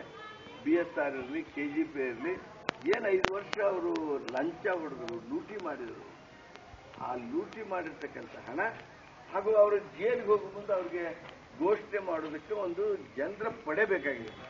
ಆ ಪಡೆ ನಿರ್ಮಾಣ ಮಾಡ್ಕೊಳ್ಳೋದಕ್ಕೆ ಅವರು ಇವತ್ತು ಪಕ್ಷ ಅಂತೇಳಿ ಕಟ್ಕೊಂಡು ಹೊಂಟವ್ರು. ಅದು ಏನಂತಾಗ ರಿಕಗ್ನೈಸ್ಡ್ ಪಾರ್ಟೀಸು ಅಲ್ಲ ಅವರು. ನೋಡ್ರಿ ನೀವು, ಯಾವಾಗ ಅವರು ಬೇಲು ಕ್ಯಾನ್ಸಲ್ ಆಕತ್ತೋ ಯಾವಾಗ ಅವ್ರಿಗೆ ವಾರೆಂಟ್ ಬರ್ತತೋ ಇದ್ರ ಕಡೆನೇ ಎಲ್ಲರದು ಗಮನ ಐತಿ ಆದ್ರಿಂದ ಅಂತ ಪಕ್ಷಗಳಿಗೆ ಬೆಂಬಲಿಸದೆ ಜನರನ್ನ ತಿರಸ್ಕಾರ ಮಾಡಿರ್ತಕ್ಕಂಥ, ಜನರಿಗೆ ಅವಮಾನ ಮಾಡಿರ್ತಕ್ಕಂಥ ಕೊಟ್ಟ ಭರವಸೆಯನ್ನ ಅವರು ಸಂಪೂರ್ಣವಾಗಿ ಭಂಗ, ವಚನ ಭಂಗ ಏನಾಗ್ಯಾರ ಆ ವಚನ ಭಂಗರಾಗಿರ್ತಕ್ಕಂಥ ಬಿಜೆಪಿಯವರಿಗೆ ತಾವು ದಯಮಾಡಿ ತಕ್ಕ ಜಾಸ್ತಿ ಮಾಡಬೇಕು. ನೀವು ಹೆಚ್ಚೆಚ್ಚು ಅಡ್ಡಾಡಿ, ಹೆಚ್ಚು ನನಗೆ ಆಶೀರ್ವಾದವನ್ನು ಕ್ರೋಢೀಕರಣ ಮಾಡಬೇಕು. ಹೆಚ್ಚು ಪೋಲಿಂಗ್ ಆಗುವಂಗೆ ಮಾಡ್ರಿ, ಹೆಚ್ಚು ಕಾಂಗ್ರೆಸ್ ಪಕ್ಷಕ್ಕೆ ಬರೋಂಗೆ ಮಾಡ್ರಿ ಅಂತೇಳಿ ಸೇರಿರ್ತಕ್ಕಂಥ ಎಲ್ಲ ಹಿರಿಯರಿಗೆ, ಯುವಕರಿಗೆ, ತಾಯಂದಿರಿಗೆ ತಮ್ಮೆಲ್ಲರಿಗೆ ವಂಚಿಸಿ ತಾವು ಪಾದಯಾತ್ರೆಯನ್ನು ಮುಂದುವರಿಸಬೇಕು. ನಾನು ಮತ್ತೆ ಮತ್ತೊಂದು ವಾರ್ಡ್ನ ಕಾರ್ಯಕ್ರಮದಲ್ಲಿ ಪಾಲ್ಗೊಳ್ಬೇಕಾಗಿದೆ. ನಮ್ಮ ನಾಯಕರೊಬ್ಬರು ಮತ್ತೆ ಬರೋರಿದ್ದಾರೆ ಆ ಹಿನ್ನೆಲೆಯೊಳಗೆ ತಾವೇನು ಈ ಸಂದರ್ಭದಲ್ಲಿ ದೊಡ್ಡ ಸಂಖ್ಯೆಯೊಳಗೆ ಸೇರಿ ಪಾದಯಾತ್ರೆ ಪ್ರಾರಂಭ ಮಾಡೋದಿದ್ದೀರಿ? ದಯಮಾಡಿ ಪಾದಯಾತ್ರೆ ಪ್ರಾರಂಭಿಸಬೇಕು ಅಂತ ಹೇಳ್ಕೊಂಡು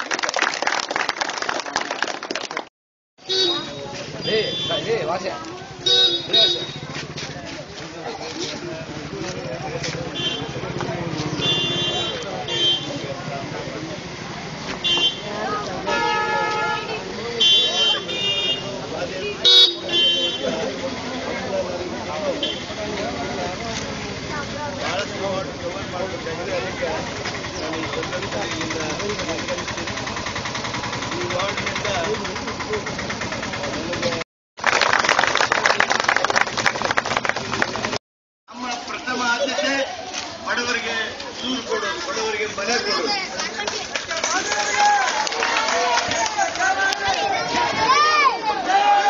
ಗದಗ ಮತಕ್ಷೇತ್ರದಲ್ಲಿ ನಾವು ಹದಿನೈದು ಸಾವಿರ ಮನೆಗಳನ್ನು ಕಟ್ಟಿದ್ದೇವೆ. ಇನ್ನೂ ನಾಲ್ಕೈದು ಸಾವಿರ ಬಡವರು ಮನೆಗಳು ಪಡಿಬೇಕಾಗಿರ್ತಕ್ಕಂಥ ಅರ್ಹತೆಯನ್ನ ಹೊಂದಿದ್ದಾರೆ.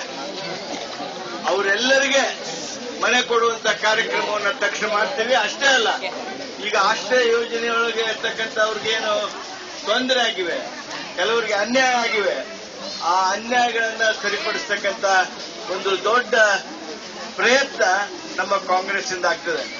ನಾನು ಒಂದು ಮಾತು ನಮ್ಮ ಅಕ್ಕಂಗರಿಗೆ ಬಹಳ ಸಂಖ್ಯೆ ಇರೋದ್ರಿಂದ ನೀವು ನಾಲ್ಕು ಕಡೆ ಹೇಳಬೇಕಾಗಿತ್ತು. ಕಾಂಗ್ರೆಸ್ನವರು ಏನ್ ಮಾಡಿದ್ವಿ ನಾವು? ಕಾಂಗ್ರೆಸ್ನವರು ಆಡಳಿತದವಾಗಿದ್ದಾಗ ನಾವು ಇಪ್ಪತ್ತೆಂಟು ಕೆಜಿ ಅಕ್ಕಿ ಕೊಡ್ತಿದ್ವಿ. ಬಿಜೆಪಿ ಅವರು ಆಡಳಿತಕ್ಕೆ ಬಂದ ಮೇಲೆ ಅದನ್ನ ಹದಿನಾರು ಕೆಜಿ ಮಾಡಿದ್ರು. ಅದನ್ನ ಈಗ ಹದಿನೈದು ಕೆಜಿಗೆ ಇಳಿಸ್ಯಾರ ಅವರು. ಅವರಿಗೆ ಸರಿಯಾದ ಉತ್ತರ ಕೊಡ್ಬೇಕು ನಾವು. ಈಗ ನೋಡ್ರಿ, ನೀವ ವಿಚಾರ ಮಾಡ್ರಿ. ಇಲೆಕ್ಷನ್ಯಾಗ ಸ್ವಲ್ಪ ಹೆಚ್ಚು ಕಡಿಮೆ ಆದ್ರೂ ಸಹಿತ ನಾವು ನೀವು ಯಾರು ಅವ್ರಿಗೆ ಯಾರಿಗೂ ತಿರುಗಿ ಅನ್ನೋದಿಲ್ಲ.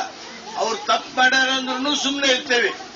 ಅಂತಾದ್ರಾಗ ಬಡವರಿಗೆ ಕೊಡ್ತಕ್ಕಂಥ ಅಕ್ಕಿ, ಕಾಂಗ್ರೆಸ್ ಏನು ಕೊಟ್ಟಿತ್ತು ಇಪ್ಪತ್ತೆಂಟು ಕೆಜಿ ಅಕ್ಕಿ, ಅದನ್ನ ಹದಿನಾರು ಕೆಜಿ ಇಳಿಸಿ, ಈಗ ಹದಿನೈದು ಕೆಜಿಗೆ ಇಳಿಸೋದ್ರ ಮೂಲಕ ಬಡವರ ಮುಖಕ್ಕೆ ತಿವುದಂಗ್ ಮಾಡ್ಯಾರ. ಅಪಮಾನ ಮಾಡಿದಾರ. ಕಾಂಗ್ರೆಸ್ಗೆ ಅಷ್ಟೇ ಅಪಮಾನ ಅಲ್ಲದು ನಾವು ಇಪ್ಪತ್ತೆಂಟು ಕೆಜಿ ಕೊಟ್ಟಿದ್ವಿ ಅಂತೇಳಿ ಇವ್ರು ಹದಿನೈದು ಕೆಜಿ ಇಳಿಸಿದ್ರಲ್ಲ ಅದಕ್ಕೆ ತಕ್ಕದಾದ ಉತ್ತರ ಕಾಂಗ್ರೆಸ್ ಕೊಡ್ತದ. ನಿಮ್ಮೆಲ್ಲರ ಆಶೀರ್ವಾದ ನಮಗೆ ಬಂದು ಈಗಾಗಲೇ ನಾವು ಮ್ಯಾನಿಫೆಸ್ಟೋಗಳು ಹೇಳಿದ್ದೇವೆ. ಅವ್ರೇನ್ ಹದಿನೈದು ಕೆಜಿ ಮಾಡ್ಯಾರ ಅದನ್ನ ದುಪ್ಪಟ್ಟು ಮಾಡಿ ಮೂವತ್ತು ಕೆಜಿ ಅಕ್ಕಿ ಕೊಡ್ತೇವೆ ನಾವು.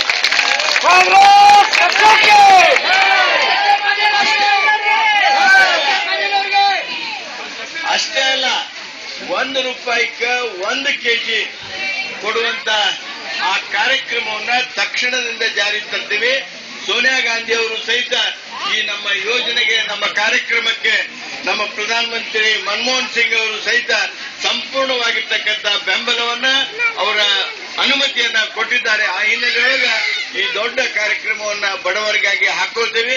ಬಡವರ ಪರವಾಗಿರ್ತಕ್ಕಂಥ ಕಾಂಗ್ರೆಸ್ಗೆ ತಮ್ಮ ಸಂಪೂರ್ಣ ಬೆಂಬಲ ಇರಲಿ. ನನಗೆ ತಮ್ಮ ಶಕ್ತಿಯನ್ನ ಕೊಡಬೇಕು ಅಂತ ಹೇಳಿ ಕೈ ಮುಗಿದು ಕೇಳಿ, ಐದು ದಿವಸ ಐತಿನ ಈ ಐದು ದಿವಸ ಶ್ರಮ ವಹಿಸಿ, ತಾವು ಕೆಲಸ ಮಾಡಿ ಬೆಟಗೇರಿಯೊಳಗ ಅತ್ಯಂತ ದೊಡ್ಡ ಶಕ್ತಿ, ಪ್ರಚಂಡ ಬಹುಮತ ಸಿಕ್ತು ಅಂತ ಆಗ್ಬೇಕು. ಬೆಟಗೇರಿ ಕೆ ಎಚ್ ಪಾಟೀಲ್ರನ್ನ ಕರ್ನಾಟಕದ ಹುಲಿ ಅಂತ ಹೇಳಿ ಮಾಡಿರುವಂತ ಪ್ರದೇಶ. ಡಿ ಆರ್ ಪಾಟೀಲ್ರನ್ನ ನಾಲ್ಕು ಸಲ ಆಯ್ಕೆ ಮಾಡಿರ್ತಕ್ಕಂಥ ಬೆಟಗೇರಿ ಇದು. ಇಪ್ಪತ್ತಾರು ಸಾವಿರ ಲೀಡ್ ಕೊಟ್ಟಿದ್ರು ನೀವು ಡಿ ಆರ್ ಪಾಟೀಲ್ರಿಗೆ ನಾವು ಅವರು ಮೊನ್ನೆ ಮಾತಾಡೋ ಮುಂದೆ ಹೇಳಿದ್ರು ನಾವು. ಏನ್ ನೀವು ಈ ಸಲ ಲೀಡ್ ಕೊಡ್ತೀರಿ? ಅದಕ್ಕೆ ಬಹಳ ಮಹತ್ವ ಐತಿ. ನಮ್ಗೆ ಹಿಂದೆಂದೂ ಕೊಡದೆ ಇರ್ತಕ್ಕಂಥ ಕನಿಷ್ಠ ಕನಿಷ್ಠ ನಲವತ್ತು ಸಾವಿರ ಲೀಟರ್ ಕೊಡಬೇಕು ಅಂತ ಹೇಳಿ ಕೈ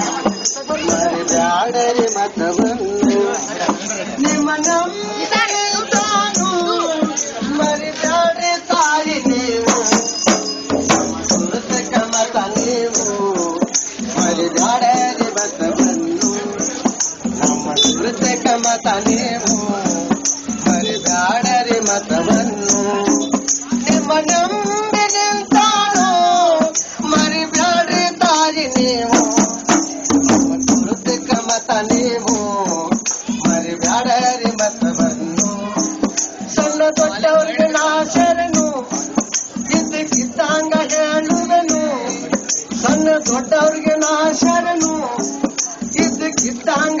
ಹೇಳುವೆನು ತಪ್ಪ ಆದರೆ ನನ್ನನ್ನು ಕ್ಷಮ ಸಾಕಬೇಕ್ರಿ ನೀನು. ತಪ್ಪ ಆದರೆ ನನ್ನನ್ನು ಕ್ಷಮ ಸಾಕಬೇಕ್ರಿ ನೀವು. ನಿಮ್ಮ ಮಕ್ಕಳ ಸರಿ ನಾನು, ತಂದೆ ತಾಯಿ ಸರಿ ನೀವು. ನಮ್ಮ ಕಾಂಗ್ರೆಸ್ ಪಕ್ಷವನ್ನು ಗೆಲಸಾಕಬೇಕ್ರಿ ನೀವು.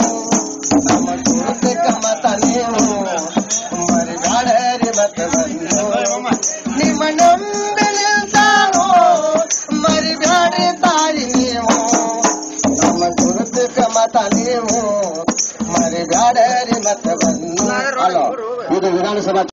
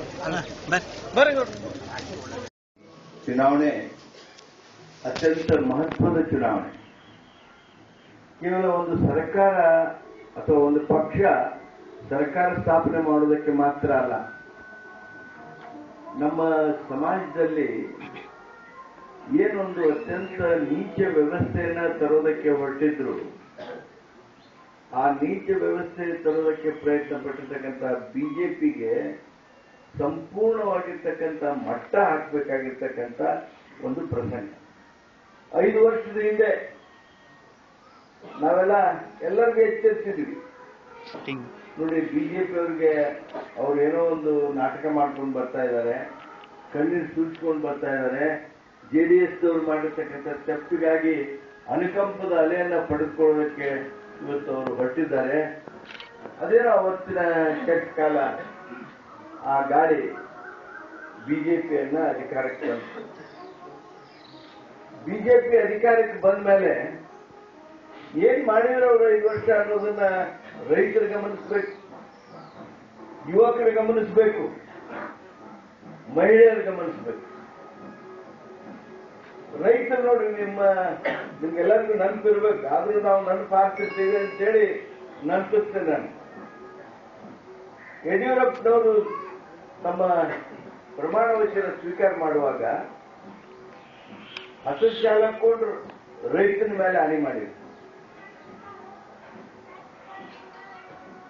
ಆ ಅಡಿ ಮಾಡಿದ ಒಂದು ವಾರದಾಗಿನ ಹಾವೇರಿ ಒಳಗೆ ಗೊಬ್ಬರ ಕೇಳಕ್ ಬಂದ ರೈತನ ಗುಂಡು ಇಲ್ಲಿ ಅವ್ರು ತಪ್ಪು ಮಾಡಿದ್ನೋ ಮಾಡಿದ್ದಿಲ್ಲೋ ಅವ್ರಿಗೆಲ್ಲರೂ ಟಿವಿಯಾಗಿ ನೋಡ್ತಾ ಇದ್ರು. ಸುಮ್ಮನೆ ನಿಂತು ಆ ಮುಕ್ತ ರೈತನಿಗೆ ಗುಂಡು ಹಾಕಿದ್ದು, ಎಲ್ಲರಿಗೂ ನೆನಪೈತು ಎಲ್ಲ ಸರ್ಕಲ್ ಮಾಡಿ ಮಾಡಿ ಮಾಡಿ ಮಾಡಿ ತೋರಿಸಿದ್ರು ನೋಡಿ. ಯಡಿಯೂರಪ್ಪನವರು ಬಂದ್ರೆ ಅದಕ್ಕೆ ವಿಶೇಷವಾಗಿ ರೈತರಿಗೆ ಗುಂಡು ಬಡಿತು ಅಂತ ಹೇಳಿ. ಸನ್ಮಾನ್ಯ ಬೊಮ್ಮಾಯಿಯವರು, ಸನ್ಮಾನ್ಯ ಉದಾಸಿಯವರು, ಅವ್ರ ಮನೆಯೊಳಗೆ ಬಂದು ಆ ರೈತನ ಬಗ್ಗೆ ಇಷ್ಟು ಕಳಕಳಿಯಿಂದ ಆ ರೈತ ಕುಟುಂಬಕ್ಕೆ ಸಮಾಧಾನ ಮಾಡೋದಕ್ಕೆ ಪ್ರಯತ್ನ ಮಾಡಿದರು. ಆ ಯಡಿಯೂರಪ್ಪನವರ ಆ ಭಾವೋದ್ವೇಗ, ಅವ್ರು ಯಾರು ರೈತನ ಕಳ್ಕೊಂಡಿದ್ರಲ್ಲ, ಮಗನ ಕಳ್ಕೊಂಡಿದ್ರಲ್ಲ, ಅವ್ರು ಯಾರು ಮನುಷ್ಯನ ವ್ಯಕ್ತಿಗಳ ಯಡಿಯೂರಪ್ಪನವ್ರಿಗೆ ಸಮಾಧಾನ ಮಾಡಿಕೊಡಿ ಧೈರ್ಯ ಮಾಡಲಿ ಅಂತ ಹೇಳುವಂತ ಆ ನಾಟಕ ಮಾಡಿದ್ರು. ಬರೀ ಒಂದು ಆರು ತಿಂಗಳ ನಂತರ ಅದೇನೊಂದು ಎನ್ಕ್ವೈರಿ ಕಮಿಟಿ ಎಲ್ಲ ಏನು ಮಾಡಿದ್ರಲ್ಲ, ಅದರ ಎದುರಿಗೆ ಸರ್ಕಾರ ಹೇಳ್ತದೆ, ಯಡಿಯೂರಪ್ಪನವರು ಸರ್ಕಾರ ಹೇಳ್ತದೆ, ಆ ರೈತ ಯಾವ ಅಲ್ಲಿ ಅವತ್ತು ಗುಂಡು ಹಾಕಿಸ್ಕೊಂಡನ? ಅವ ದೊಂಬಿಕೋರ ಶಾಂತಿ ಕದಡೋದಕ್ಕೆ ಬಂದಿರತಕ್ಕಂತ ವ್ಯಕ್ತಿ ಅವನು. ಅವನು ರೈತ ಅಲ್ಲ. ಅವನು ಪಿ ಎಲ್ ಡಿ ಬ್ಯಾಂಕಿನ ಅಧ್ಯಕ್ಷ ಬಿಜೆಪಿಯ ಕಾರ್ಯಕರ್ತ. ಅವನಿಗೆ ರೈತರಿಗೆ ದೊಂಬಿಕೋರ ಅಂತ ಹೇಳೋದ್ರ ಮುಖಾಂತರ ಯಡಿಯೂರಪ್ಪನವರು ರೈತರಿಗೆ ಮೋಸ ಪ್ರಾರಂಭ ಮಾಡಿದ್ರು. ಇನ್ನು ರೈತರು ವಿಚಾರ ಮಾಡ್ಬೇಕು. ಮುಂದೆ ರೈತರಿಗೆ ಯಾವಾಗ್ರಿ ಯಾರ್ರಿ ಬೇಡಿ ಹಾಕಿ ಜೈಲ್ನಾಗ ಬೇಡಿ ಹಾಕಿದ್ರು ಜೈಲ್ನಾಗಿಂದ ಕೋರ್ಟಿಗೆ ಬರ್ಬೇಕಾದ್ರೆ ದಾವಣಗೆರೆ ರೈತರನ್ನ ಬೇಡಿ ಹಾಕಿ ಧಾರವಾಡ ಕೋರ್ಟಿಗೆ ಕರ್ಕೊಂಡ್ ಬಂದರು ದ ಕಾಮಿಡಿ ವಕೀಲರು ಅವರೆಲ್ಲ ಅಲ್ಲಿ ಬಾರ್ ಅಸೋಸಿಯೇಷನ್ ಒಳಗ ಇದೇನು ಹ್ಯೂಮನ್ ರೈಟ್ ವೈಲೇಷನ್ ಆಗುತ್ತಾ ಅಂತೇಳಿ ಪ್ರತಿಭಟನೆ ಮಾಡಿದ್ರು. ಏನು ಅವಶ್ಯನು ಯಾರಿಗೆ ವಕೀಲರು ವಕೀಲರನ್ನೆಲ್ಲರೂ ಕೇಳಿ ನೀವು.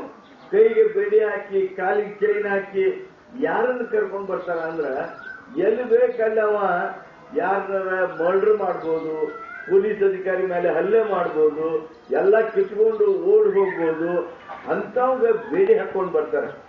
ಆದ್ರೆ ಅದ್ರ ಬದಲಾಗಿ ಜೈಲಿನಿಂದ ಬೇಲಿ ಸಲುವಾಗಿ ಅವ ಕೋರ್ಟ್ ಬರ್ಬೇಕಾದ್ರೆ ಅವಾಗ ರೈತರಿಗೆ ಬೇಡಿ ಹಾಕಿ ಕರ್ಕೊಂಡು ಬಂದಿರ್ತಕ್ಕಂಥ ಯಡಿಯೂರಪ್ಪನವರ ಸರ್ಕಾರನ್ನ ಅದು ಎಂತ ಸರ್ಕಾರ ಇತ್ತು, ಬಿಜೆಪಿ ಸರ್ಕಾರ ಅನ್ನೋದನ್ನ ನೋಡ್ಬೇಕು. ಆ ಕ್ರಮವನ್ನು ಬೆಂಬಲಿಸಿದವರು ಜಗದೀಶ್ ಶೆಟ್ಟರ್.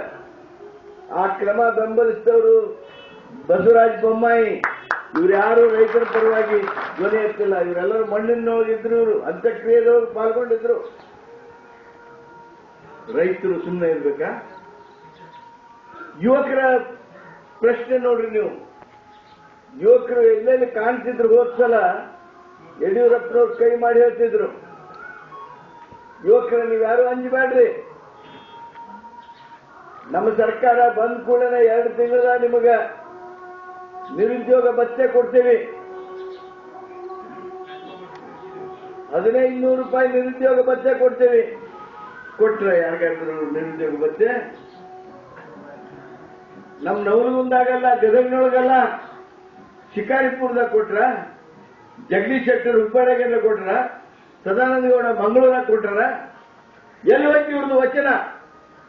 ಯುವಕರನ್ನ ಮೋಸ ಮಾಡಿ ತೆರೆದುಕೊಂಡಿರ್ತಕ್ಕಂಥ ಇವರು ಯುವಕರಿಗೆ ಎಂತ ಮೋಸ ಮಾಡಿದ್ರು ಅನ್ನೋದಕ್ಕೆ ಒಂದು ಉದಾಹರಣೆಯನ್ನು ಕೊಟ್ಟು ನಾನು. ಇಂಥವು ಹತ್ತತ್ತು ಉದಾಹರಣೆಯನ್ನ ಕೊಡ್ಬೋದು. ಪಾರ್ಲಿಮೆಂಟ್ ಇಲೆಕ್ಷನ್ ಒಳಗೆ ಮೊನ್ನೆ. ನೀವೆಲ್ಲ ನೋಡಿದ್ರಿ ಬಂಧುಗಳೇ?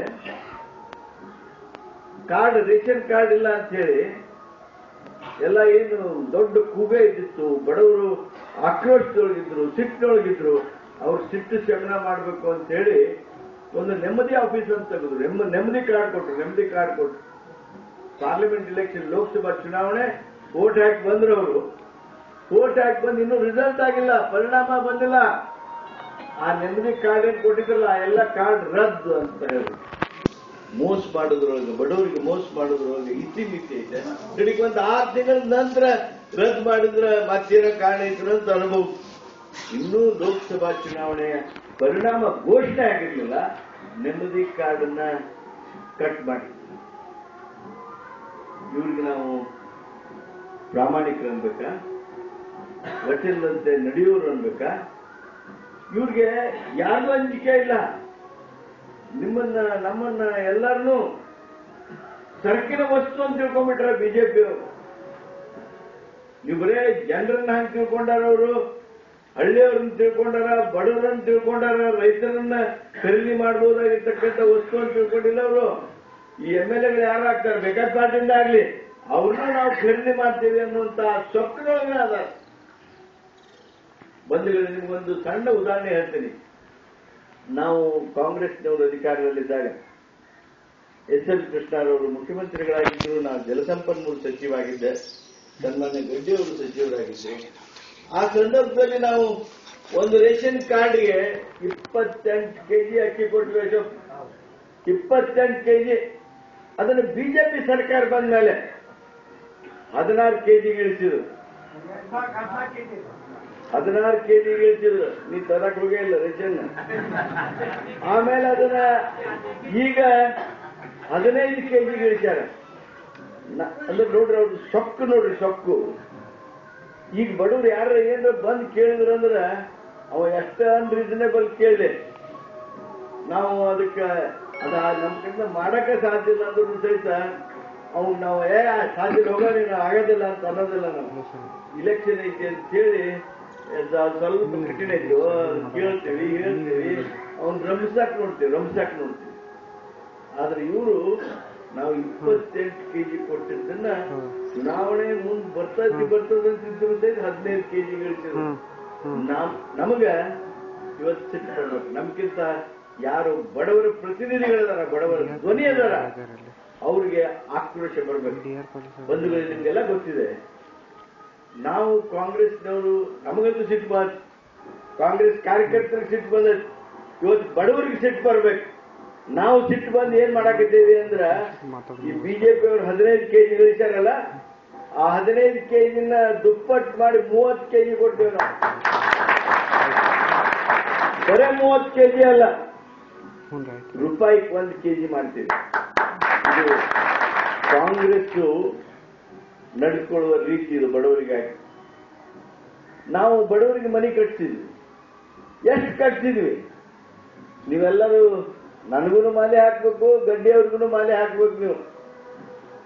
ಹತ್ತು ಲಕ್ಷದ ಮೇಲೆ ಐದು ವರ್ಷದೊಳಗ ಹತ್ತು ಲಕ್ಷ ಎಪ್ಪತ್ತು ಸಾವಿರ ಮನೆಗಳನ್ನ ಕಟ್ಟಿರ್ತಕ್ಕಂಥ ಯಾರು ವೀರಿದ್ರು ಅವರು ಕಾಂಗ್ರೆಸ್ನವರು ಅನ್ನೋದನ್ನ ಬಹಳ ಅಭಿಮಾನಿಗಳು. ಒಂದೊಂದು ತಾಲೂಕಿನಾಗ ಒಂದೊಂದು ಮತಕ್ಷೇತ್ರ ಹೋಗಿ ನಮ್ಮ ಗದಗ ಮತಕ್ಷೇತ್ರದೊಳಗೆ ಹದಿನೈದು ಸಾವಿರ ಮನೆಗಳನ್ನ ಕಟ್ಟಿದ್ವಿ ನಾವು ನಾವು ಮತಕ್ಷೇತ್ರದೊಳಗೆ ಸುಮಾರು ಹದಿನೈದು ಸಾವಿರ ಮನೆಗಳನ್ನ ಕಟ್ಟಿದ್ವಿ ಇವರು ಬಿಜೆಪಿ ಸರ್ಕಾರದವ್ರು ಬಂದಾರಲ್ಲ, ಐದು ವರ್ಷ ಇದ್ರು, ಐದು ವರ್ಷ ಯಾಕೆ? ಐದು ವರ್ಷ ಜೆಡಿಎಸ್ ಕೂಡ ಇದ್ದದ್ದು ಎರಡು ವರ್ಷ. ಏಳು ವರ್ಷ ಸರ್ಕಾರದಲ್ಲಿದ್ರ ನಾವು ಹದಿನೇ, ಹನ್ನೊಂದು ಲಕ್ಷ, ಹತ್ತು ಲಕ್ಷ ಮನೆ ಕಟ್ಟಿದ್ವಲ್ಲ, ಇವರು ಒಂದು ಲಕ್ಷ ಕಟ್ಟಿದ್ದನ್ನು ಹೇಳಿ. ಬಡವರ ಕಾರ್ಯಕ್ರಮವನ್ನು ನಿಲುಗಡೆ ಮಾಡಿದ್ರಿ, ಬಡವರಿಗೆ ಕೊಡು ಅಕ್ಕಿ ಕಡಿಮೆ ಮಾಡಿದ್ರಿ ಬಡವರಿಗಾಗಿ ನಾವು ವೃದ್ಧಾಪ್ಯ ವೇತನ ಕೊಡ್ತಿದ್ವಿ. ವಿಧವಾ ವೇತನ ಕೊಡ್ತಿದ್ವಿ. ಅಂಗವಿಕಲ ವೇತನ ಕೊಡ್ತಿದ್ವಿ. ಅವುಗಳನ್ನ ಬರುವುದನ್ನ ವಿಳಂಬ ಮಾಡಿಸ್ತೀರಿ, ಹೊಸದಾಗಿ ಮಾಡೋದನ್ನ ನಿಲ್ಲಿಸ್ತೀರಿ. ಈ ರೀತಿಯಾಗಿರ್ತಕ್ಕಂಥ ಬಡವರ ದ್ರೋಹಿ ಸರ್ಕಾರವನ್ನು, ರೈತರ ವಿರೋಧಿ ಸರ್ಕಾರವನ್ನು, ಯುವಕರಿಗೆ ಮೋಸ ಮಾಡಿರ್ತಕ್ಕಂಥ ಸರ್ಕಾರವನ್ನ ನಮ್ಮ ರಾಜ್ಯದಲ್ಲಿ ನಾವು ನೀವು ನೋಡಿದ್ವಿ ಬಂಧುಗಳೇ, ಬರೀ ಇಷ್ಟ ಅಲ್ಲ ಇವನು ಮಾಡಲಿಲ್ಲ, ಅದಕ್ಕೆ ನೀವು ಬಂದಿರಲ್ರಿ ಮಾಡಿರ್ಬೋದು ಆದ್ರೆ ಇನ್ನೂ ಕೆಲವು ಮಾಡಿದ್ರು ಅವರು. ನಾವು ನೀವು ಏನು ಮಾಡಕ್ ಬರೋದಿಲ್ಲ. ಬಾಯಿ ಕೈ ಒಂದು ಬಿಟ್ರೆ ನಮ್ಮ ನಿಮ್ಮ ಕೈಯೊಳಗೆ ಈಗ ಸದ್ಯಕ್ಕೆ ಏನೂ ಇಲ್ಲ. ನೋಡ್ರಿ, ನೀವು ಕೊಟ್ಟಿರ್ತಕ್ಕಂಥ ಅಧಿಕಾರನ, ಐದು ವರ್ಷದ ಅಧಿಕಾರವನ್ನ ಹೆಂಗ ದುರುಪಯೋಗ ಮಾಡಿದ್ರು ಅಂದ್ರ, ಐದು ವರ್ಷದೊಳಗ ನಮ್ಮ ರಾಜ್ಯದ ಸಂಪತ್ತು, ನಮ್ಮ ರಾಷ್ಟ್ರದ ಸಂಪತ್ತು, ನಮ್ಮ ಸಂಪತ್ತು, ನಿಮ್ಮ ಸಂಪತ್ತು, ಒಂದು ಲಕ್ಷದ ಐವತ್ತು ಸಾವಿರ ಕೋಟಿ ರೂಪಾಯಿಯ ನಮ್ಮ ನೈಸರ್ಗಿಕ ಸಂಪತ್ತನ್ನ, ಅದರನ್ನ ಲೂಟಿ ಮಾಡಿದ್ರು. ಒಂದು ಲಕ್ಷದ ಐವತ್ತು ಸಾವಿರ ಕೋಟಿ ದುಡ್ಡಲ್ಲ ಹೇಳಲ್ಲ ನಮಗೆ ನಿಮ್ಗೆ ಅಂಕಿ ಲಘು ಬರಿ ಅಂತಂದ್ರ ಬಾಳ ಅಂದ್ರ ದೇಶಪಾಂಡೆ ಅವರು ಬರೀಬೇಕು ಇಲ್ಲ ಹನುಮರೆಡ್ಡಿ ಅವರು ಬರೀಬೇಕು? ಆ ದೊಡ್ಡ ಅಂಕಿನ ಕರೆಕ್ಟ್ ಆಗಿ. ನಾವು ನೀವು ಎಲ್ಲರೂ ಒಂದು ಪೂಜೆ ಬಿಟ್ಟ ಬಿಟ್ಟಿರ್ತೀವಿ ಒಂದು ಲಕ್ಷದ ಐವತ್ತು ಸಾವಿರ ಕೋಟಿ ಬಂಧುಗಳೇ, ನೀವೆಲ್ಲ ಗಮನಿಸ್ಬೇಕು.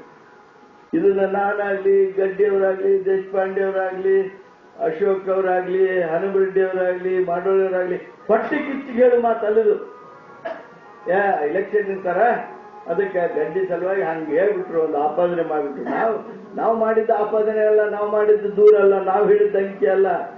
ಇದನ್ನ ಯಾರು ಹೇಳ್ಯಾರ ಅಂದ್ರ, ನ್ಯಾಯಾಧೀಶರಾಗಿ ಬಹುದೊಡ್ಡ ಹೆಸರು ಮಾಡ್ಕೊಂಡಿರ್ತಕ್ಕಂಥ ನ್ಯಾಯಮೂರ್ತಿ ಸಂತೋಷ್ ಹೆಗಡೆ ಹೇಳಿದ ಮಾತು. ನಲವತ್ತೈದು ಸಾವಿರ ಪೇಜಿನ ಅವರ ತೀರ್ಪಿನೊಳಗ ಸನ್ಮಾನ್ಯ ಸಂತೋಷ್ ಹೆಗಡೆ ಹೇಳ್ತಾರೆ, ನೀವು ಈ ಸರ್ಕಾರ, ಈ ಸರ್ಕಾರದಲ್ಲಿದ್ದಂತ ಮುಖ್ಯಮಂತ್ರಿಯಿಂದ ಹಿಡ್ಕೊಂಡು ಶಾಸಕನವರಿಗೆ, ಪಕ್ಷದ ಅಧ್ಯಕ್ಷನಿಂದ ಹಿಡ್ಕೊಂಡು ಕಾರ್ಯಕರ್ತನವರಿಗೆ ಇವರು ಒಂದು ಲಕ್ಷದ ಐವತ್ತು ಸಾವಿರ ಕೋಟಿ ರೂಪಾಯಿಯ ರಾಜ್ಯದ ಸಂಪತ್ತನ್ನ ಲೂಟಿ ಮಾಡಿದ್ದಾರೆ. ಅವ್ರಿಗೇನು ಶಿಕ್ಷೆ ಆಗುವುದೇನು ಬಹಳ ದಿವಸ ಮುಂದೋಲಿಲ್ಲ ಶಿಕ್ಷಾ ಮುಖ್ಯಮಂತ್ರಿ ಆದವರು ಜೈಲಿಗೆ ಹೋದ್ರು. ಇಪ್ಪತ್ತೆರಡು ದಿವಸ, ಇಪ್ಪತ್ನಾಲ್ಕು ದಿವಸ ಹೋದ್ರು. ಅವ್ರು ನೋಡ್ರಿ ಅವ್ರದ್ದು ಹೆಂಗೆ ಅವ್ರದ್ದು ಮನೋಭೂಮಿಕೆ ಹೆಂಗೆ ನೋಡ್ರಿ. ನಿಮ್ಮ ಅಣ್ಣಗಿರಿ ಬಸ್ ಸ್ಟ್ಯಾಂಡ್ ಯಾರೊಬ್ಬ ಪಿಕ್ ಪಾಕೆಟ್ ಮಾಡಿದ ಅಂದ್ರೆ, ಅವ ಐವತ್ತು ರೂಪಾಯಿ ಕಳು ಮಾಡಿದ್ರು ಸಹಿತ ಅವನ್ನ ಹಿಡ್ಕೊಂಡು ಲಗಾಸ್ತೀರಿ ನೀವು. ಪೊಲೀಸರು ಕೈ ಕೊಟ್ಟಾಗ ಪೊಲೀಸರು ಹಿಡ್ಕೊಂಡು ಹೋಗೋ ಮುಂದೆ ಅವ. ಮಕ್ಕಕ್ಕೆ ಟಾವೆಲ್ ಹಾಕೊಂತಾನ ಮಕ್ಕಳಿಗೆ ಸೊಪ್ಪಿಗೆ ಹಾಕೊಂತಾನ ಮಕ್ಕ ಎತ್ತಾಗ ಹೊಳಸ್ತಾನ, ಯಾರ ಫೋಟೋದವ್ ಬಂದ್ರು ಟಿವಿಯವ್ರು ಬಂದ್ರು ಅಂತಂದ್ರೆ ಅಲ್ಲಿ ಹೊಳ್ ನಿಲ್ತಾನ. ಅಂದ್ರ ಅಪಮಾನ, ಅವಮಾನ. ಎಲ್ಲಿ ನಮ್ಮ ಬೀಗರು ನೋಡ್ತಾರೋ ನಮ್ಮ ಊರವ್ರು ನೋಡ್ತಾರೋ ನಮ್ಮ ಸಂಬಂಧಿಕರು ನೋಡ್ತಾರೋ ನನ್ನ ಗುರುತಿನವ್ರು ನೋಡ್ತಾರೋ ಅಂತೇಳಿ ಮಕ್ಕ ಮುಚ್ಕೊಂತಾನೆ. ಆದ್ರೆ ಯಡಿಯೂರಪ್ಪನವರು ಜೈಲಿಗೆ ಹೋಗು ಮುಂದ, ಜನಾರ್ದನ್ ರೆಡ್ಡಿ ಜೈಲಿಗೆ ಹೋಗು ಮುಂದ ಕಟ್ಟ ಸುಬ್ರಹ್ಮಣ್ಯನ್ ಜೈಲಿಗೆ ಹೋಗುವ ಮುಂದ. ಅವ್ರು ಹೋಗಿದ್ದ ಟಿವಿ ನೋಡಿದ್ರೆ ನೀವು? ನೀವು ಯಾರು ಭಾಳ ಮಂದಿ ಹುಡುಗರು ಹೇಳಿದ್ರೆ ನೀವು ಕ್ರಿಕೆಟ್ ನೋಡೇ ನೋಡ್ತಿರ್ತೀರಿ. ಸಚಿನ್ ತೆಂಡೂಲ್ಕರ್ ಡಬಲ್ ಸೆಂಚುರಿ ಹೊಡೆದಾಗ ಮಾಡ್ತಿರ್ತಾನೆ ಹಿಂಗೆ? ಹಂಗ್ ಮಾಡ್ಕೊಂತ ಹೋದ್ರೆ ಯಡಿಯೂರಪ್ಪನವ್ರು, ನೀವು ನೋಡಿದ್ರಿ? ಅವ ಮಾಡ್ಕೊಂತ ಹೋಗಲ್ಲಕ ಅವನ್ ಜೈಲ್ನಾಗಿಂದ ಬಿಟ್ಟು ಹುಬ್ಬಳ್ಳಿಗೆ ಬಂದ್ರ ಇಪ್ಪತ್ತು ಸಾವಿರ ಮಂದಿ ಹೋಗಿ ಅವನ್ನ ಮೆರವಣಿಗೆ ಕರ್ಕೊಂಡ್ ಬರ್ತೀರಿ? ಅಂದ್ರೆ ನಮ್ಮ ಸಮಾಜದೊಳಗೆ ಮೌಲ್ಯಗಳು ಅಂದ್ರೆ ಯಾರು ಪಿಟ್ ಪಾಕೆಟ್ ಮಾಡಿದ್ರೆ ಅಲ್ಲಿ ಒಟ್ಟು ಕೂಡ್ಕೊಂಡೆ ನಾವು ಬಡಿತೀವಿ. ಅದನ್ನ ಗಮನದಾಗ ಇಟ್ಕೊಳ್ರಿ. ನೀವು ಯಾರಿಗೆ ಊಟ ಹಾಕಿ ಅವ್ರ ಮ್ಯಾಲೆ ಕಳಿಸಿ ಅವ್ರಿಗೆ ಕೆಂಪು ದೀಪ ಕೊಟ್ಟು ಅವ್ರೇನು ಲೂಟಿ ಮಾಡಿದ್ರು ಅಂತ ಅನ್ನುವಂತ ಸಂದರ್ಭದೊಳಗೂ ಸಹಿತ ನಾವು ಅವ್ರು ಹೆಂಗೆ ನಡ್ಕೋತಾರ ಅಂಥವ್ರನ್ನ ನಾವು ಬಿಟ್ಟು ಕೊಡ್ಬೋದ? ಅವ್ರನ್ನ ನಾವು ಹಂಗ ಹಂಗ ಹೋಗಿ ಹೋಗಿ ಮುಂದೆ ಬರ್ತಾ ಬಿಜೆಪಿ ಮಾಡತಕ್ಕಂತ ಒಂದು ದೊಡ್ಡ ಅಪರಾಧ ಗುನ್ನೆ ಅಂದ್ರೆ ನಮ್ಮ ರಾಜ್ಯ ಲೂಟಿ ಮಾಡಿದ್ದು. ಸಮಾಜದಲ್ಲಿ ಮೌಲ್ಯಗಳನ್ನ ನೀಚ ಮಟ್ಟದಲ್ಲಿ ಕೆಳಗಿಳಿಸಿದ್ರು ನೀವು ನಾವೆಲ್ಲ ನೋಡಿರಿ ಸುದಯದಿಂದ ಈ ಸಂದರ್ಭದಲ್ಲಿ ನನಗೆ ಹೇಳ್ಬೇಕು ಹೇಳ್ಬಾರ್ದು ಗೊತ್ತಿಲ್ಲ. ಯಾಕಂದ್ರೆ ಅವರು ಯಾವ ನೈತಿಕ ಮಟ್ಟ ಕೆಳಗೆ ಹೋಗ್ಬಿಟ್ರು ಅಂದ್ರೆ ನೋಡ್ರಿ, ಗೆಳೆಯರು ಅಂತ ಹೇಳಿ ಅವ್ರನ್ನ ಕರ್ಕೊಳಂಗಿಲ್ಲ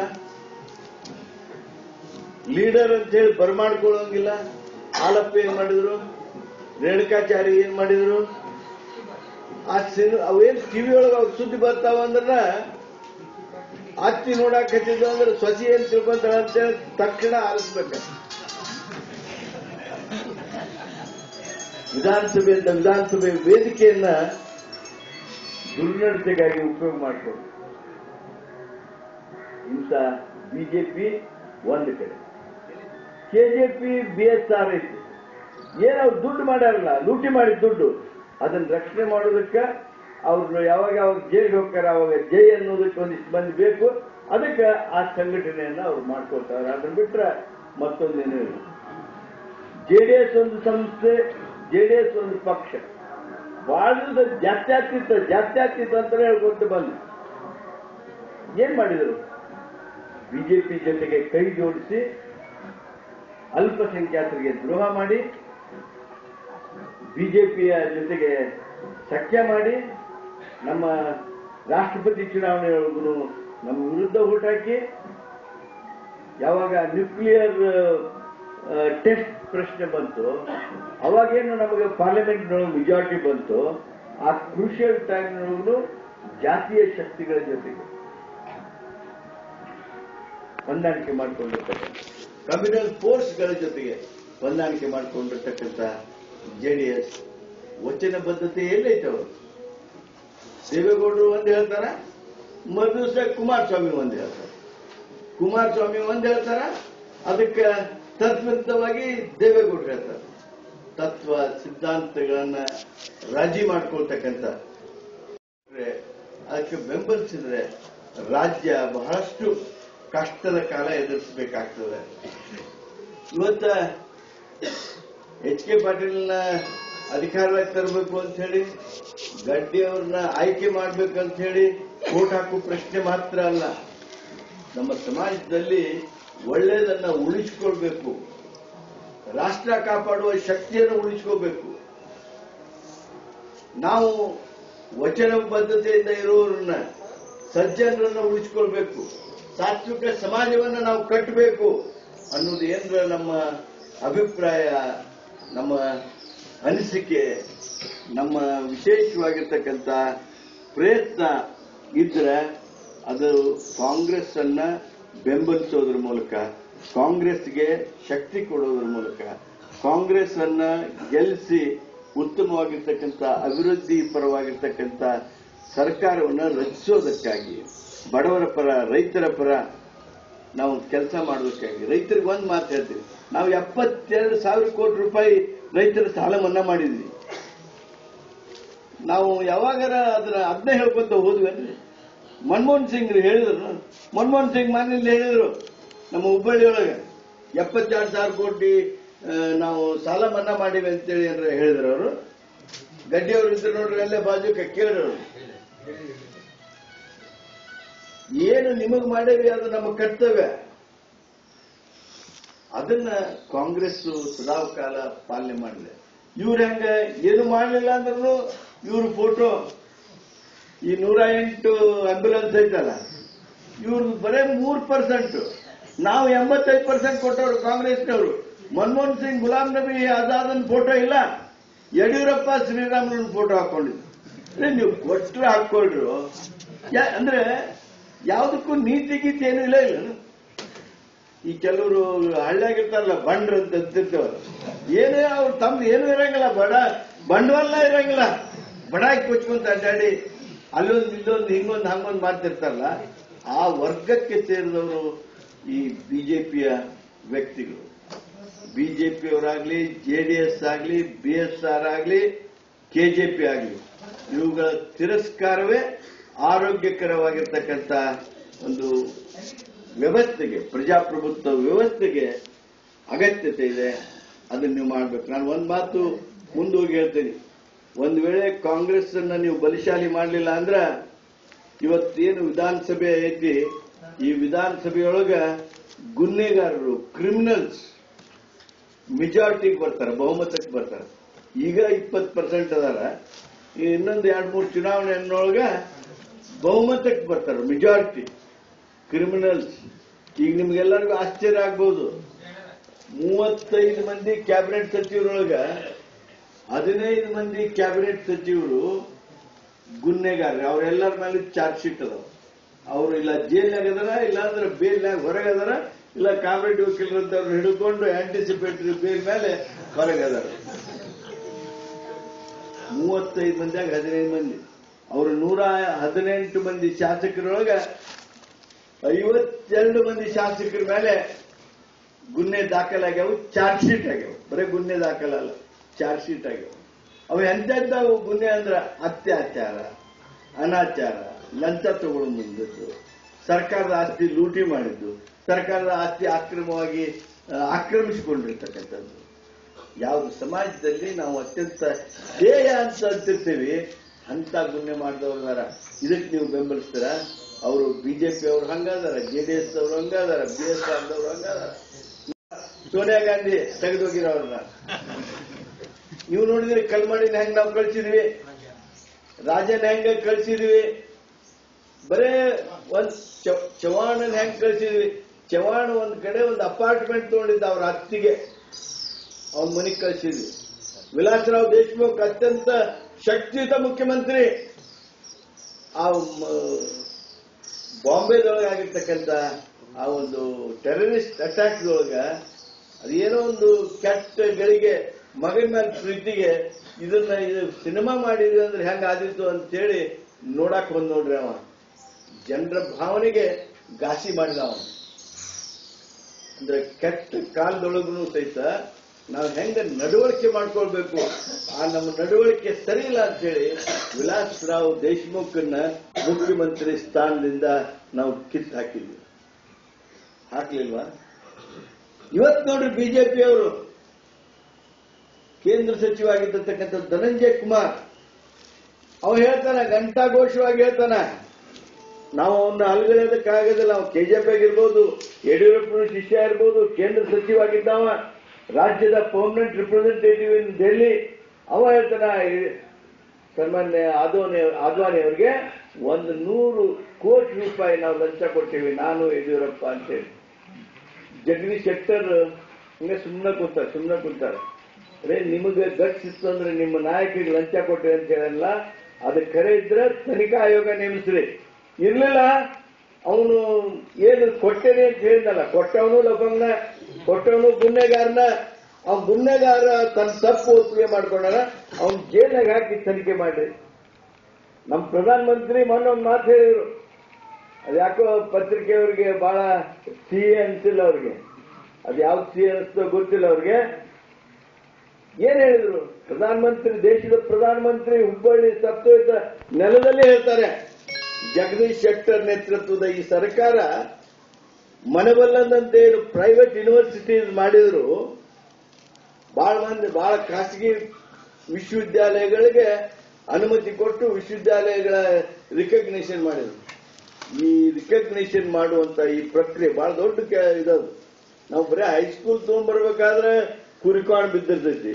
ವಿಶ್ವವಿದ್ಯಾಲಯನ ಇವರು ಇಲೆಕ್ಷನ್ ಟೈಮ್ನಾಗ ಏನ್ ಕೊಟ್ಟಿರಲ್ಲ ನೀವಂತಗೋ ನೀವಂತಗೋ ನೀವಂತ ತಗೋ ನೀವಂತ ತಗೋ ನೀ ಇಪ್ಪತ್ತೈದು ತಾ ನೀ ಐವತ್ತ ನೀ ನೂರ್ ತಾ ಅಂತ ಶಟ್ರಂಗಡಾಗ ಏನು ಮಾರಾಟ ಆದವಲ್ಲ?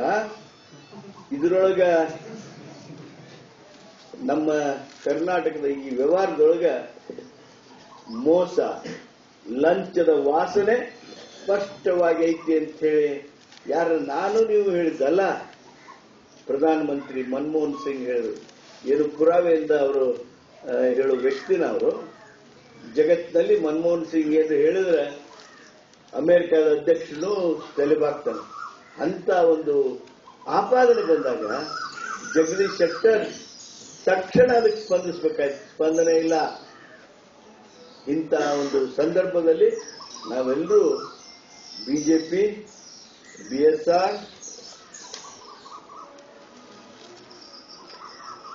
ಹಾಗೂ ಕೆಜೆಪಿ ಜೆಡಿಎಸ್ ಎಲ್ಲ ಪಕ್ಷಗಳನ್ನು ನಾವು ತಿರಸ್ಕಾರ ಮಾಡಿ ಅವುಗಳಿಗೆ ಸೋಲಿನ ರುಚಿ ಉಣಿಸುವುದರ ಮೂಲಕ ಕಾಂಗ್ರೆಸ್ ಪಕ್ಷಕ್ಕೆ ಬಲಪಡಿಸಬೇಕು. ಸನ್ಮಾನ್ಯ ಗಡ್ಡಿಯವರ ಗುರುತಾಗಿರ್ತಕ್ಕಂಥ ಹಸ್ತಕ್ಕೆ ತಾವು ಮತಗಳನ್ನು, ತಾವಿಲ್ಲಿ ಸೇರಿರೋರು ಬರೀ ಮತದಾರರು ಮಾತ್ರ ಅಲ್ಲ, ನೀವೆಲ್ಲ ನಾಯಕರು. ಒಂದೊಂದು ಊರು ಕಂಟ್ರೋಲ್ ಮಾಡೋರು, ಒಂದೊಂದು ಓಣಿ ಕಂಟ್ರೋಲ್ ಮಾಡೋರು, ಒಂದೊಂದು ವಾರ್ಡ್ ಕಂಟ್ರೋಲ್ ಮಾಡೋರು. ನೀವು ಕಾಂಗ್ರೆಸ್ಗೆ ವಿಶೇಷವಾದ ಬೆಂಬಲವನ್ನ ಶೇಖರಣೆ ಮಾಡಿ ಕ್ರೋಢೀಕರಣ ಮಾಡಿ ಸೋನಿಯಾ ಗಾಂಧಿ ಅವರ ಕೈ ಬಲಪಡಿಸಬೇಕು. ನನಗೆ ವಿಶ್ವಾಸ ಪ್ರೀತಿಯನ್ನು ತೋರಿಸಬೇಕು ಅಂತೇಳಿ ಕೈ ಕೇಳಿ ದೇವರ ಆ ಒಂದು ಪ್ರೀತಿಯ ಒಂದು ಮಹಿಮೆಯಿಂದಲೇ ತಪ್ಪಾಗಲಾಗಬಹುದು ದೇವರು ನಮ್ಮನ್ನು ಪ್ರೀತಿಸದಿದ್ದರೆ, ದೇವರು ನಮಗೆ ಈ ದಿನವನ್ನು ಕರುಣಿಸದಿದ್ದರೆ ಖಂಡಿತವಾಗಿಯೂ ನಾವು ಇವತ್ತು ಈ ದಿನವನ್ನು ಕಾಣಲು ಸಾಧ್ಯವಾಗುತ್ತಿರಲಿಲ್ಲ ಈ ಒಂದು ದಿನವನ್ನು ಕರುಣಿಸಿದ ಆ ಭಗವಂತನಿಗೆ ಅದೇ ರೀತಿ ಈ ದಿನದಲ್ಲಿ ಅನೇಕ ಒಳ್ಳೆಯ ಕೆಲಸ ಕಾರ್ಯಗಳನ್ನು ನೆರವೇರಿಸಲು ಕೃಪೆ ನೀಡಿದಂಥ ಆ ಭಗವಂತನಿಗೆ ಮೊಟ್ಟ ಮೊದಲು ನಾವೆಲ್ಲರೂ ನಮ್ಮ ಮನದಾಳದಿಂದ ವಂದನೆ, ನಮನ, ಕೃತಜ್ಞತೆಯನ್ನು ಸಲ್ಲಿಸೋಣ. ಇಲ್ಲಿ ಇಷ್ಟೊಂದು ಸಂಖ್ಯೆಯಲ್ಲಿ ನಾವೆಲ್ಲರೂ ತಂದು ಸೇರ್ತೇವೆ. ಅನೇಕರು ಸರ್ಕಾರಿ ನೌಕರರಾಗಿದ್ದಾರೆ, ಸಾಮಾಜಿಕ ಸೇವಾಕರ್ತರಾಗಿದ್ದಾರೆ, ಗುರುಗಳಾಗಿದ್ದಾರೆ ಕನ್ಯಾಸ್ತ್ರೀಯರಾಗಿದ್ದಾರೆ ವಿಶೇಷವಾಗಿ ರಾಜಕೀಯ ವ್ಯಕ್ತಿಗಳಾಗಿದ್ದೇವೆ. ಇವರು ನಾವೆಲ್ಲರೂ ಒಂದಲ್ಲ ಒಂದು ಕ್ಷೇತ್ರದಲ್ಲಿ ನಮ್ಮನ್ನು ತೊಡಗಿಸಿಕೊಂಡು ಈ ಜನರ, ನಮ್ಮ ಜನರ ಉದ್ಧಾರಕ್ಕಾಗಿ ನಾವು ದುಡಿತಿದ್ದೇವೆ ಗುರುಗಳ ಕನ್ಯಾಸ್ತ್ರೀಯರು ಆಧ್ಯಾತ್ಮಿಕ ಪ್ರಗತಿಗೆ ಹೆಚ್ಚಿನ ಗಮನ ಕೊಟ್ಟರೆ ಶಿಕ್ಷಕ, ಶಿಕ್ಷಕಿಯರು ಮಕ್ಕಳ ಆ ಒಂದು ಜ್ಞಾನಾರ್ಜನೆಗಾಗಿ ಶ್ರಮಿಸುತ್ತಾರೆ. ವಿಶೇಷವಾಗಿ ನಮ್ಮ ರಾಜಕೀಯ ವ್ಯಕ್ತಿಗಳು, ಸಮಾಜದ ಎಲ್ಲ ಜನರ ಸರ್ವತೋಮುಖ ಬೆಳವಣಿಗೆಗೆ ಅವರು ತಮ್ಮನ್ನು ತೊಡಗಿಸಿಕೊಳ್ಳುತ್ತಾರೆ. ಇಂದು ನಮಗೆ ಒಂದು ವಿಶೇಷ ದಿನ. ಈ ದಿನ ಕಾರಣ ನಮ್ಮ ಸಹೋದರ ನಮ್ಮ ಆತ್ಮೀಯರಾದಂಥ ಎಚ್ ಕೆ ಪಾಟೀಲ್ ಅವರು ನಮ್ಮನ್ನ ಸಂಧಿಸಿ ನಮ್ಮ ಆಶೀರ್ವಾದವನ್ನು ಆಶೀರ್ವಾದವನ್ನು ಬೇಡಿಕೊಳ್ಳಲು ಬಂದಿದ್ದಾರೆ ಅವರೊಂದಿಗೆ ನಮ್ಮ ಬೆಟ್ಟಿ ಮಠ ವೇಮನ್ ರಾವ್ ಅದೇ ನಮ್ಮ ಪಾಲನಾ ಸಮಿತಿಯ ಸದಸ್ಯರು, ನಮ್ಮ ಈ ಸಿ ಎಸ್ ಐ ಸಂಸ್ಥೆಯ ಪಾಸ್ಟರ್ ಅವರು, ಅದೇ ರೀತಿ ನಮ್ಮ ಶಿಕ್ಷಕ ಶಿಕ್ಷಕಿಯರು ಬಂದಿದ್ದಾರೆ. ಇದಂತ ಈ ಒಂದು ದಿನವನ್ನು ಪ್ರಕಟಿಸಿದಂತಹ ದೇವರಿಗೆ ವಂದನೆ ಸಲ್ಲಿಸುತ್ತಾ, ವಿಶೇಷವಾಗಿ ನಾವು ಯಾವುದೇ ಒಂದು ಕೆಲಸವನ್ನು ಮಾಡಿದ ಸಿದ್ಧ ಅದು ದೇವರು ಮೆಚ್ಚುವಂತಾಗಲಿ ವಿಶೇಷವಾಗಿ ಇನ್ನೇನು ಕೆಲವು ದಿನಗಳಲ್ಲಿ ನಮ್ಮ ರಾಜ್ಯದ ಎಲೆಕ್ಷನ್ ಬರ್ತಾ ಇದೆ, ವಿಧಾನಸಭೆ ಎಲೆಕ್ಷನ್ ಆ ಎಲೆಕ್ಷನ್ನಲ್ಲಿ ಅನೇಕರು ಪಣ ತೊಟ್ಟಿದ್ದಾರೆ ನಾವೆಲ್ಲರೂ ಗೆಲ್ಲಬೇಕು ಎಂಬುದಾಗಿ. ಆದರೆ ಆ ದೇವರಿಗೆ ಗೊತ್ತು, ಯಾರು ಜನರ ಸೇವೆ ಮಾಡ್ತಾರೋ, ಯಾರು ಜನರ ಸೇವೆ ಮಾಡ್ಕೊಂಡು ಬರ್ತಾ ಇದ್ರು ಅಂಥವರನ್ನ ಆರಿಸಲು ದೇವರು ಕೃಪೆಯನ್ನು ಆಶೀರ್ವಾದ ಕರುಣಿಸ್ತಾರೆ ವಿಶೇಷವಾಗಿ ಇಂದು ನಾವು ನಮ್ಮ ಸ್ವಾಮಿಯ ಆಶೀರ್ವಾದವನ್ನು ನಮ್ಮ ಆತ್ಮೀಯರಾದಂತಹ ಎಚ್ ಕೆ ಪಾಟೀಲ್ ಗುರುಗಳನ್ನು ಬೇಡಿಕೊಳ್ಳೋಣ ಅವರು ನಮಗೆ ತಿಳಿದಿರುವ ಪ್ರಕಾರ ಅನೇಕ ಅಭಿವೃದ್ಧಿಯ ಕೆಲಸ ಕಾರ್ಯಗಳು ಮಾಡಿದ್ದಾರೆ. ಆದರೆ ಅವರ ಕೆಲಸ ಕಾರ್ಯಗಳನ್ನು ಅವರು ಬಿಂಬಿಸಿಲ್ಲ. ಅವರು ಎಲೆಮರೆ ಕಾಯಾಗಿ ಕೆಲಸ ಮಾಡಿದ್ದಾರೆ. ಇಂದು ವಿಶೇಷವಾಗಿ ಅನೇಕ ಸಹೋದರ ಸಹೋದರಿಗಳು ಇವರು ಮಾಡಿದಂಥ ಕೆಲಸಗಳ ಬಗ್ಗೆ ಮಾಹಿತಿ ಇಲ್ಲದೆ ಅವರು ತಡವಡಿಸುತ್ತಿದ್ದಾಗ ದಯಾಳು ದೇವರು ವಿಶೇಷವಾಗಿ ಅವರ ಮೇಲೆ ಕೃಪೆ ತೋರಿ ಜ್ಞಾನ ಬರಲಿರುವಂತಹ ಎಲೆಕ್ಷನ್ನಲ್ಲಿ ನಮ್ಮ ಆತ್ಮೀಯರಾದಂಥ ಎಚ್ ಕೆ ಪಾಟೀಲ್ ಉತ್ತಮ, ಆ ಒಂದು ಭವ್ಯ ಮತದಿಂದ, ಪ್ರಚಂಡ ಮತದಿಂದ ಆರಿಸಿ ಆ ವಿಧಾನಸಭೆಗೆ ಸೇರಿ ಅಲ್ಲಿ ನಮ್ಮ ಬಡವರ, ಶೋಷಿತರ, ವಿಶೇಷವಾಗಿ ಗದಗ ಬೆಟಗಿರಿಯ ಬೇಡಿಕೆಗಾಗಿ ಶ್ರಮಿಸುವ ಮತ್ತೊಂದು ಅವಕಾಶವನ್ನು ಆ ದಯಾಮಯ ದೇವರುಗಳಿಗೆ ಕರುಣಿಸಲಿ ವಿಶೇಷವಾಗಿ ಪ್ರಾರ್ಥಿಸೋಣ. ಪ್ರಿಯರೇ, ನಮಗೆಲ್ಲರಿಗೂ ಗೊತ್ತೇ, ಒಬ್ಬ ವ್ಯಕ್ತಿ ಹೇಳುವಂತ ಮಾತು, ನಾವು ಈ ಲೋಕಕ್ಕೆ ಬರುವಾಗ ಉಸಿರುತ್ತದೆ ನಾವು ಈ ಲೋಕವನ್ನ, ನಾವು ಈ ಲೋಕವನ್ನು ಬಿಟ್ಟ ಹೋದಾಗ ಹೆಸರು ಹುಟ್ಟು ಮತ್ತು ಸಾವಿನ ಮಧ್ಯೆ ನಮ್ಮ ಜೀವನ. ನಮ್ಮ ಸಹೋದರರು ಸಹ ಉತ್ತಮ ಕೆಲಸ ಮಾಡುವುದರ ಮೂಲಕ ತಮ್ಮದೇ ಆದಂಥ ಛಾಪನ್ನು ಮೂಡಿಸಿದ್ದಾರೆ ಇವರ ತಂದೆ ಕೆ ಎಚ್ ಪಾಟೀಲ್ ಅವರ ಇನ್ನೂ ಸಹ ಜನರ ಅಂತರಂಗದಲ್ಲಿ ಅವರ ಹೆಸರಿದೆ. ಕಾರಣ ಅವರ ಮನೆತನದೊಂದಿಗೆ ಒಂದು ಕೆಲಸ ಕಾರ್ಯಗಳನ್ನು ಮಾಡಿಕೊಂಡು ಬರ್ತಾ ಇದ್ದಾರೆ. ವಿಶೇಷವಾಗಿ ಭಗವಂತ. ಮತ್ತೊಮ್ಮೆ ನಮ್ಮ ಸಹೋದರ ಚಿಕ್ಕರಾದಂಥ ಆತ್ಮೀಯರಾದಂಥ ಕೆ. ಎಚ್. ಕೆ. ಪಾಟೀಲ್ ಅವರಿಗೆ ಕೈಗೊಳ್ಳುವಂಥ ಕೆಲಸ ಕಾರ್ಯದಲ್ಲಿ ಯಾವುದೇ ರೀತಿಯ ತೊಡಗಿರಬಾರದಂತೆ ವಿಶೇಷವಾಗಿ ಅನೇಕ ಹಗಲು ರಾತ್ರಿ ಮಧ್ಯೆ ಅವರು ಅನೇಕ ಜನರನ್ನು ಸಂಪರ್ಕಿಸಬೇಕು. ಇದಕ್ಕೆ ಬೇಕು ಅವರಿಗೆ ಆತ್ಮಸ್ಥೈರ್ಯ ಆಮೇಲೆ ಶಾರೀರಿಕ ಶಕ್ತಿ ಇದೆಲ್ಲವನ್ನ ಸ್ವಾಮಿ ಕರುಣಿಸಲಿ ಈ ಒಂದು ನಮ್ಮ ಸಹೋದರ ಈ ಒಂದು ಜನರ ಪ್ರಶಂಸೆಗೊಳಿಸಿ ಉತ್ತಮ ಆ ಒಂದು ಪ್ರಚಂಡ ಮೌಖದಿಂದ ಆಯ್ಕೆಯಾಗಿ ನಮಗೆಲ್ಲರಿಗೂ ಸಂತೋಷವನ್ನು ತರಲೆಂದು ಒಂದು ಸರ್ವಶಕ್ತ ದೇವರಲ್ಲಿ ವಿಶೇಷವಾಗಿ ನಾವೆಲ್ಲರೂ ಸಾಯಂಕಾಲ ಅವರಿಗಾಗಿ ಹಾಗೂ ನಮ್ಮೆಲ್ಲರ ಅಭಿಪ್ರಾಯಗಳಿಗಾಗಿ ಪ್ರಾರ್ಥಿಸೋಣ. ಹಾಗೂ ಕರ್ತರು ನಿಮ್ಮೊಡನೆ ಇರಲಿ. ಸರ್ವಶಕ್ತ ದೇವರಾದ ಪವಿತ್ರಾತ್ಮರು ನಮ್ಮೆಲ್ಲರನ್ನ ಹೇರಳವಾಗಿ ಆಶೀರ್ವದಿಸಲಿ ಇಲ್ಲಿ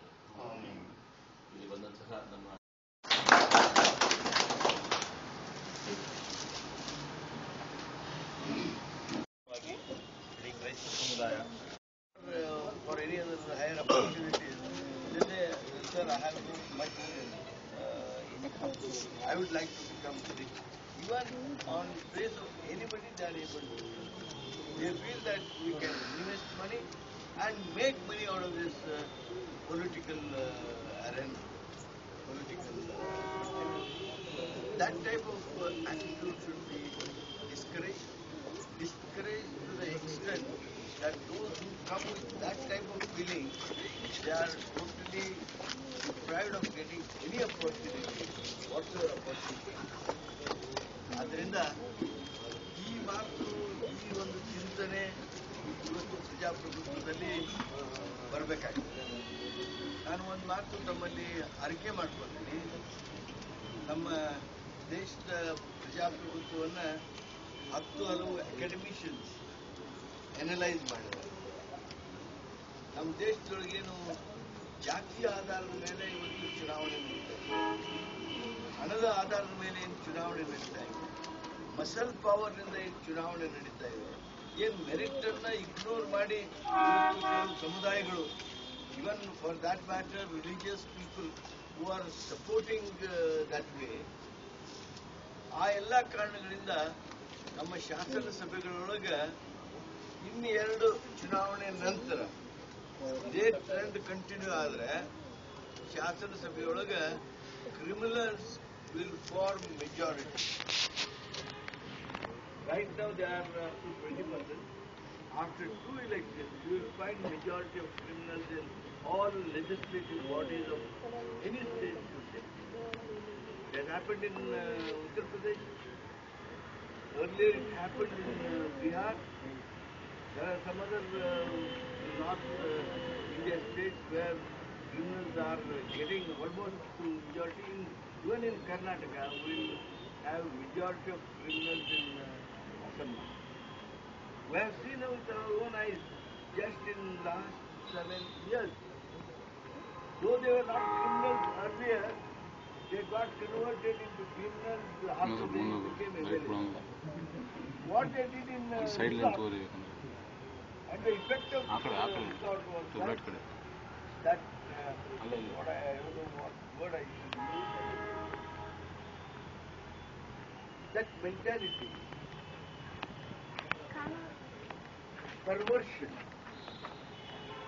ವಿಕೃತ ಮನಸ್ಸು ಎಷ್ಟು ಪರಿಣಾಮ ಬೀರ್ತು ಅಂದ್ರೆ even in assembly hall which is considered as a temple which is considered as a praying place, which is respected as most uh, religious political body, that was converted into a, blueprint seeing uh, better. To this extent, the things are deteriorated.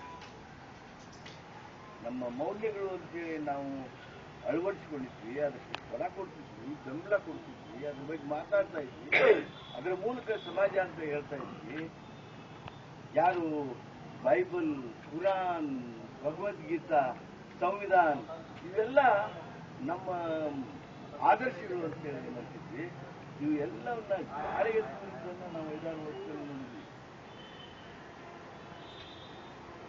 Ladies and gentlemen, you will be shocked to know if I tell you that one lakh fifty thousand crores of rupees worth asset of the state, our asset, that was looted. By whom? Not by Chambal Kanni dacoits, Not by thieves who are uh, in uh, forest area, but by those who are elected representatives, right from chief minister to a legislator, right from party president to a worker of a ruling party, they are responsible. It is they who caused this uh, looting of state to the extent of one lakh fifty thousand crores. It is not that I am alleging because I am a, a candidate from one party.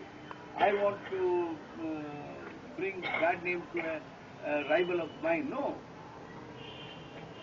It is Santosh Hegde, Supreme Court judge, who has said that one lakh fifty thousand crores is looted by all these people and he has given 45,000 pages uh, report. This is where we are in Karnataka ಇದನ್ನ ಬದಲಾವಣೆ ಮಾಡಬೇಕಾದ್ರೆ ಸಿದ್ಧ ಮಾಡಬೇಕಾದ್ರೆ ಬಹಳ ದೊಡ್ಡ ಕೆಲಸ. ಅದರಿಂದ ಈ ಸಾತ್ವಿಕ ಸಮಾಜ ಯಾರು ಕಾಣಬೇಕು ಅಂತಾರೆ, ಸಂವಿಧಾನವನ್ನ ಯಾರು ಇವತ್ತು ಗೌರವಿಸಬೇಕು ಅಂತಾರೆ, ಅವರು ಈ ಹೆಲ್ದಿ ಡೆಮೋಕ್ರಸಿಯನ್ನ ಇವತ್ತು ನಾವು ನೀವೆಲ್ಲ ನೋಡಿದ್ವಿ ಹುಬ್ಳಿ ರೋಡ್ನೊಳಗೆ Hubli Gadag ರೋಡ್ನಲ್ಲಿರ್ತಕ್ಕಂಥ church Bomb was blasted It was directly told, yeah, this is ex-Muslim gentleman, uh, uh, Abbas Ali, no, Matabno, Matabno, and say, Israeli. It is this man who is responsible for bomb blasts. What happened? When inquiry took place, the truth came out, and that revealed that Bajrang Dal's activist was the person behind that bomb blast. What happened in um, Hubli court? Again, it was uh, uh, said this gentleman ಒಬ್ಬ ದಾಡಿಯನ್ನು ತೋರಿಸಿ ಇವರು ಅಂದ್ರೆ ಜನರ ಮನಸ್ಸನ್ನು ಹೊಡೆಯೋದಕ್ಕೆ ಹಿಂದೂ ಮುಸ್ಲಿಮರ ಮನಸ್ಸು ಹೊಡೆದ್ರು Christian ಆ, ಮುಸ್ಲಿಮರ ಮನಸ್ಸು ಹೊಡಿಬೇಕು ಅಂತ ಹೇಳಿ ಆ ಬಾಂಬ್ ಬ್ಲಾಸ್ಟ್ ಏನಾಯ್ತು ಸನ್ಮಾನ್ಯ ಮಲ್ಲಿಕಾರ್ಜುನ್ ಖರ್ಗೆ ಗೃಹ ಸಚಿವರಾಗಿದ್ರು ಅವರೆಲ್ಲ ರಿವೀಲ್ ಮಾಡಿದ್ರು, ಏನಾಯ್ತು ಅಂತೇಳಿ ಅದ್ವಾನಿ ಅಂತ ಅದೋನಿ ಅಂತೇಳಿ ಒಬ್ಬ ವ್ಯಕ್ತಿ, ಮತ್ತೆ ಆರ್ ಎಸ್ ಎಸ್ಗೆ ಸಂಬಂಧಪಟ್ಟಿರ್ತಕ್ಕಂಥ ವ್ಯಕ್ತಿ, ಆ ಬಾಂಬ್ ಬ್ಲಾಸ್ಟ್ ಮಾಡಿದ ಮುಂದೆ ಕೆಲವೇ ದಿವಸಗಳಲ್ಲಿ ಅವನು ಜೈಲಿನಲ್ಲಿ ಸಹಿತ ಒಂದು ಹತ್ಯೆ ಆಯಿತು, ಬಿಜೆಪಿ ಸರ್ಕಾರ ಸುಮ್ಮನೆ. ಎಲ್ಲ ನೋಡಿದಿರಿ ಬಂಧುಗಳೇ, ಕ್ರಿಶ್ಚಿಯನ್ ಸಮುದಾಯದ ಮೇಲೆ ಸಫೋಕೇಟಿಂಗ್ ಹ್ಯೂಮಿಲೇಷನ್ ಹೇಗೆ ಆಯಿತು ಅಂತ ಹೇಳಿ ಮ್ಯಾಂಗ್ಳೂರ್ ಘಟನೆಗಳನ್ನು ತೆಗೆದುಕೊಂಡ್ರಿ ಉಡುಪಿ ಘಟನೆಗಳನ್ನು ತಗೊಳ್ರಿ. ಯಾರು ನಾವು ರಾಷ್ಟ್ರತ್ವ ಮಾತು ಹೇಳ್ತೀವಿ. ಸೆಕ್ಯುಲರ್ ಇಂಡಿಯಾ ಅಂತ ಮಾತು ಹೇಳ್ತೀವಿ. ಇಲ್ಲೇ ಹಿಂದೂ ಕ್ರಿಶ್ಚಿಯನ್ ಹುಡುಗ ಹುಡುಗಿ ಮಾತಾಡೋಂಗಿಲ್ಲ. ಮುಸ್ಲಿಂ ಕ್ರಿಶ್ಚಿಯನ್ ಹುಡುಗ ಹುಡುಗಿ ಮಾತಾಡೋದಿಲ್ಲ. ಹಿಂದೂ, ಮುಸ್ಲಿಂ ಹುಡುಗ ಹುಡುಗಿ ಮಾತಾಡೋದಿಲ್ಲ. ಮಾತಾಡಿದ್ರೆ ಅವ್ರನ್ನ ಸಾರ್ವಜನಿಕವಾಗಿ ಕಳಿಸ್ತಕ್ಕಂಥ ಕೆಲಸ ಇಂಥ ಎಲ್ಲವಕ್ಕೂ ಸಹಿತ ಅಂತ್ಯ ಹಾಡಬೇಕು, ಪೂರ್ಣ ವಿರಾಮ ಕೊಡಬೇಕು. ಸೆಕ್ಯುಲರ್ ಇಂಡಿಯಾ ಏನು what is the mandate our constitution that should be implemented the rule of law should coming to our state ಇದನ್ನೆಲ್ಲ ಮಾಡೋದಕ್ಕೆ ಒಂದು ಆರೋಗ್ಯವಾಗಿರ್ತಕ್ಕಂಥ, ಆರೋಗ್ಯವಂತ ಪ್ರಜಾಪ್ರಭುತ್ವದಲ್ಲಿ ಒಂದು ದೃಢವಾದ ಸದೃಢವಾಗಿರ್ತಕ್ಕಂಥ, ಶಕ್ತಿಯುತವಾಗಿರ್ತಕ್ಕಂಥ ಒಂದು ಪಕ್ಷ ಆಡಳಿತ ಬರಬೇಕು ಅದು ಸೋನಿಯಾ ಗಾಂಧಿಯವರ ನೇತೃತ್ವದ ಕಾಂಗ್ರೆಸ್ ಮಾತ್ರ ಆ ಕೆಲಸ ಮಾಡೋದಕ್ಕೆ ಸಾಧ್ಯ. ಆ ಕಾರಣಕ್ಕೆ ತಾವು ದಯಮಾಡಿ ಬೆಂಬಲ ಮಾಡಬೇಕು. ನನಗೆ ತಮ್ಮ ಆಶೀರ್ವಾದ ಮಾಡಬೇಕು. ಇಲ್ಲಿ ಸೇರಿರ್ತಕ್ಕಂಥ ಪೂಜ್ಯರು, ಇಲ್ಲಿ ನೆರೆದಕ್ಕಿರ್ತಕ್ಕಂಥ ಎಲ್ಲ ಯುವಕರು ನಮ್ಮ ಪಕ್ಷ ಗುರುತಾಗಿರ್ತಕ್ಕಂಥ ಹಸ್ತಕ್ಕೆ ಮತ ಚಲಾಯಿಸೋದು ಮಾತ್ರ ಅಲ್ಲ, ನಿಮ್ಮ ಕುಟುಂಬದ ಸದಸ್ಯರ, ನಿಮ್ಮ ಪ್ರಭಾವದ ವಲಯದಲ್ಲಿರ್ತಕ್ಕಂಥ ಎಲ್ಲರ ಮತಗಳನ್ನು ನಮಗಾಗಿ ತಂದುಕೊಡ್ಬೇಕು ಅಂತ ತಮ್ಮಲ್ಲಿ ಕೈ ಮುಗಿದು ಕೇಳಿ. ಸೈಡ್ ಎಸ್ ಎಸ್ ಕೆ ಸಮಾಜ ಬಾಂಧವರಿಂದ ಒಂದು ನಾವು ಇವತ್ತು ದಿವಸ ಇದೆ ಸಭೆಯನ್ನು ನಡೆಸಿದ್ದೀವಿ ಈ ಸಭೆಯ ಅಧ್ಯಕ್ಷತೆಯನ್ನು ವಹಿಸಿದಂತ ಆಯಾ ಮೇರಾವಳಿಯವರೇ, ಅವರಿಗೂ ಕೂಡ ನಾನು ತುಂಬ ಹೃದಯದ ಸ್ವಾಗತವನ್ನು ತಯಾರಿಸ್ತಾ ಇದ್ದೇನೆ. ನಮ್ಮ ನಿಮ್ಮೆಲ್ಲರ ಅಚ್ಚುಮೆಚ್ಚಿನ ಜನನಾಯಕರು, ಉತ್ತರ ಕರ್ನಾಟಕದ ಜನಪ್ರಿಯ ನಾಯಕರು ಹಾಗೂ ಪ್ರಾಮಾಣಿಕರು ಸಹೃದಯಗಳು ಮತ್ತು ನಿ- ನಿರಾಡಂಬರ ರಾಜಕಾರಣಿಗಳಾದಂತಹ ಸನ್ಮಾನ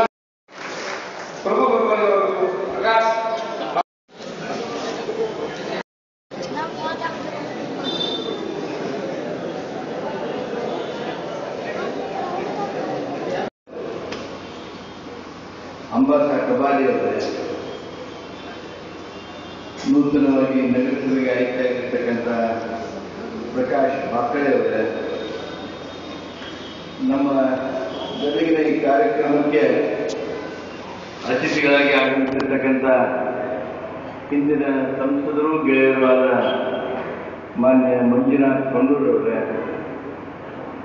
ನಮ್ಮೆಲ್ಲರ ಹಿತೈಷಿಗಳಾದ ಹಿರಿಯರಾದ ರಂಗರೆಡ್ಡಿಯವರೇ, ಗೆಳೆಯರಾದ ಒಡವೆ ನಿಂಗಪ್ಪನವರೇ ಗೆಳೆಯರಾದ ಎಪ್ಸೂರ್ ಫಕೀರಪ್ಪನವರೇ ಭೀಮಾಸ ಕೋಡೆಯವರೇ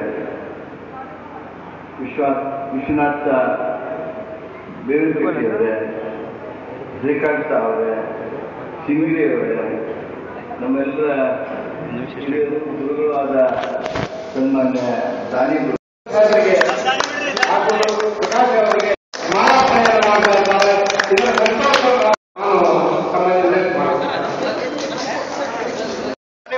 ಖಾಲಿ ಮಾಡಿಸ್ತೀನಿ ಅಂತೇಳಿ. ಅವತ್ತು ಬಂದಾಗ ನಿಮಗೆ ಎಷ್ಟು ಸಿಟ್ಟು ಬಂದಿತ್ತೋ ಗೊತ್ತಿಲ್ಲ. ಅವಾಗ ತಾನೇ ನಾವೆಲ್ಲ ಸಾಕಷ್ಟು ಕಾಂಗ್ರೆಸ್ ಪಕ್ಷದಲ್ಲಿ ಚಿಂತನೆ ಮಾಡ್ತಾ ಇದ್ವಿ. ಬಡವರಿಗೆ ಈ ಹಣದ ವಸೂಲಿ ಮಾಡುವಂತ ಏನು ದುಷ್ಟ ಪದ್ಧತಿ ಇವರು ಬಿಜೆಪಿ ಅವರು ಮಾಡ್ತಾ ಇದ್ದಾರಲ್ಲ, ಇದಕ್ಕ ತಕ್ಕದಾಗಿರ್ತಕ್ಕಂಥ ಶಾಸ್ತಿ ಮಾಡಬೇಕು ಅಂತ. ನಾನು ನಿಮಗೆ ಒಂದು ಮಾತು ಹೇಳಿದೆ, ಇನ್ ಮೇಲೆ ಯಾರ ಬಂದ್ರು ಅಂದ್ರೆ ಅವನ್ನ ಕಟ್ಟಿ ಅಲ್ಲೇ ಹಾಕ್ರಿ ನಿಮ್ ಜೊತೆಗೆ ನಾ ಇದ್ದೇನೆ ಅಂತ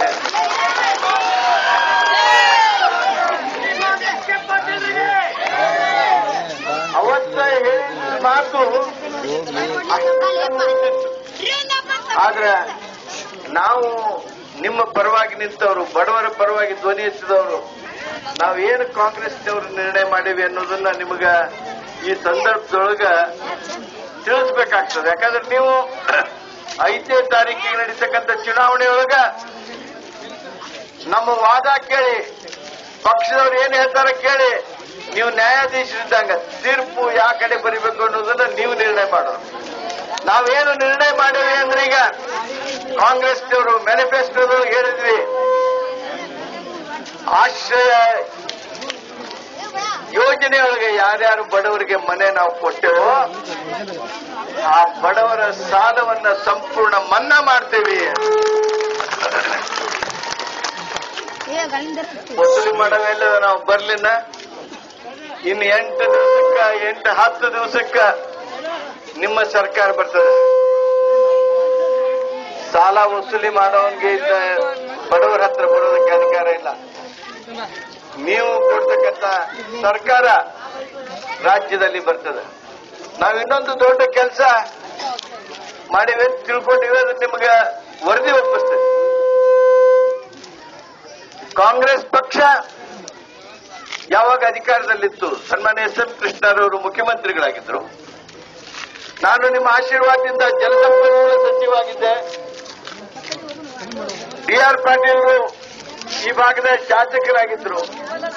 ಯಾವಾಗ ಆಶ್ರಯ ಯೋಜನೆಯಡಿ ಹದಿನಾಲ್ಕು ಸಾವಿರ ಮನೆಗಳನ್ನ ಕಟ್ಟಿಸಿದ್ವು ಆ ಸಂದರ್ಭದಲ್ಲಿ ಬಡವರಿಗೆ ರೇಷನ್ ಕಾರ್ಡ್, ಒಂದ್ ರೇಷನ್ ಕಾರ್ಡ್ ಇಪ್ಪತ್ತೆಂಟು ಕೆಜಿ ಅಕ್ಕಿ ಕೊಡ್ತಿದ್ವಿ ನಾವು. ಇಪ್ಪತ್ತೆಂಟು ಕೆಜಿ ಅಕ್ಕಿ ಕೊಡ್ತಿದ್ವಿ. ಅದೇನೋ ಸಲ ಕೆಲವರು ಸಿಟ್ ಮಾಡ್ಕೊಂಡ್ರಿ. ಯಾವ ಕಾರಣಕ್ಕೆ ಗೊತ್ತಿಲ್ಲ? ಆ ಸಿಟ್ಟಿನ ಕಾರಣ ಬಿಜೆಪಿ ಶಾಸಕರು ಇಲ್ಲಿ ಬಂದರು. ಬಿಜೆಪಿ ಶಾಸಕರು ಇಲ್ಲಿ ಬಂದರು.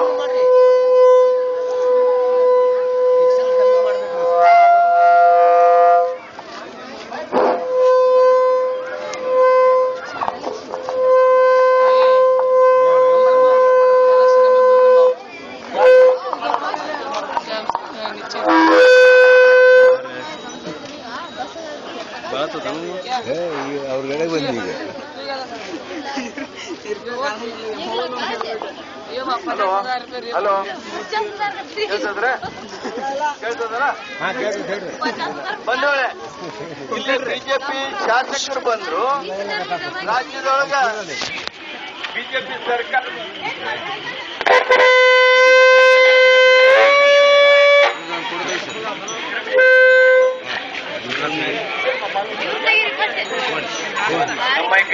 ನಮ್ಮ ಐಕ್ ಐತೆ ನೋಡ್ರಿ.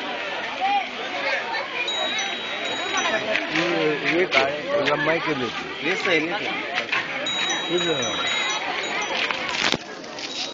ಇಪ್ಪತ್ತೆಂಟು ಕೆಜಿ ಕೊಡ್ತಿದ್ವಲ್ಲ? ಆ ಇಪ್ಪತ್ತೆಂಟು ಕೆಜಿ ಕೊಡೋದನ್ನ ಬಿಜೆಪಿ ಸರ್ಕಾರ ಬಂದ ಮೇಲೆ ಹದಿನಾರು ಕೆಜಿ ಇಳಿಸಿದ್ರು ಹದಿನಾರು ಕೆಜಿ ಇಳಿಸಿದ್ರು ಹದಿನಾರರಿಂದ ಈಗ ಕೆಜಿ ಮಾಡಿದ್ರು.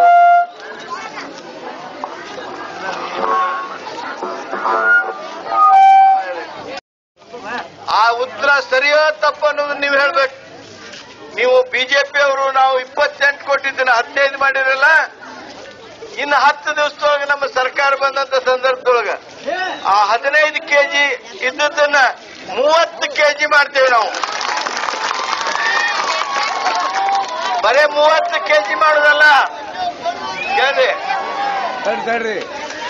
ಬರೇ ಮೂವತ್ತು ಕೆಜಿ ಮಾಡುದಲ್ಲ?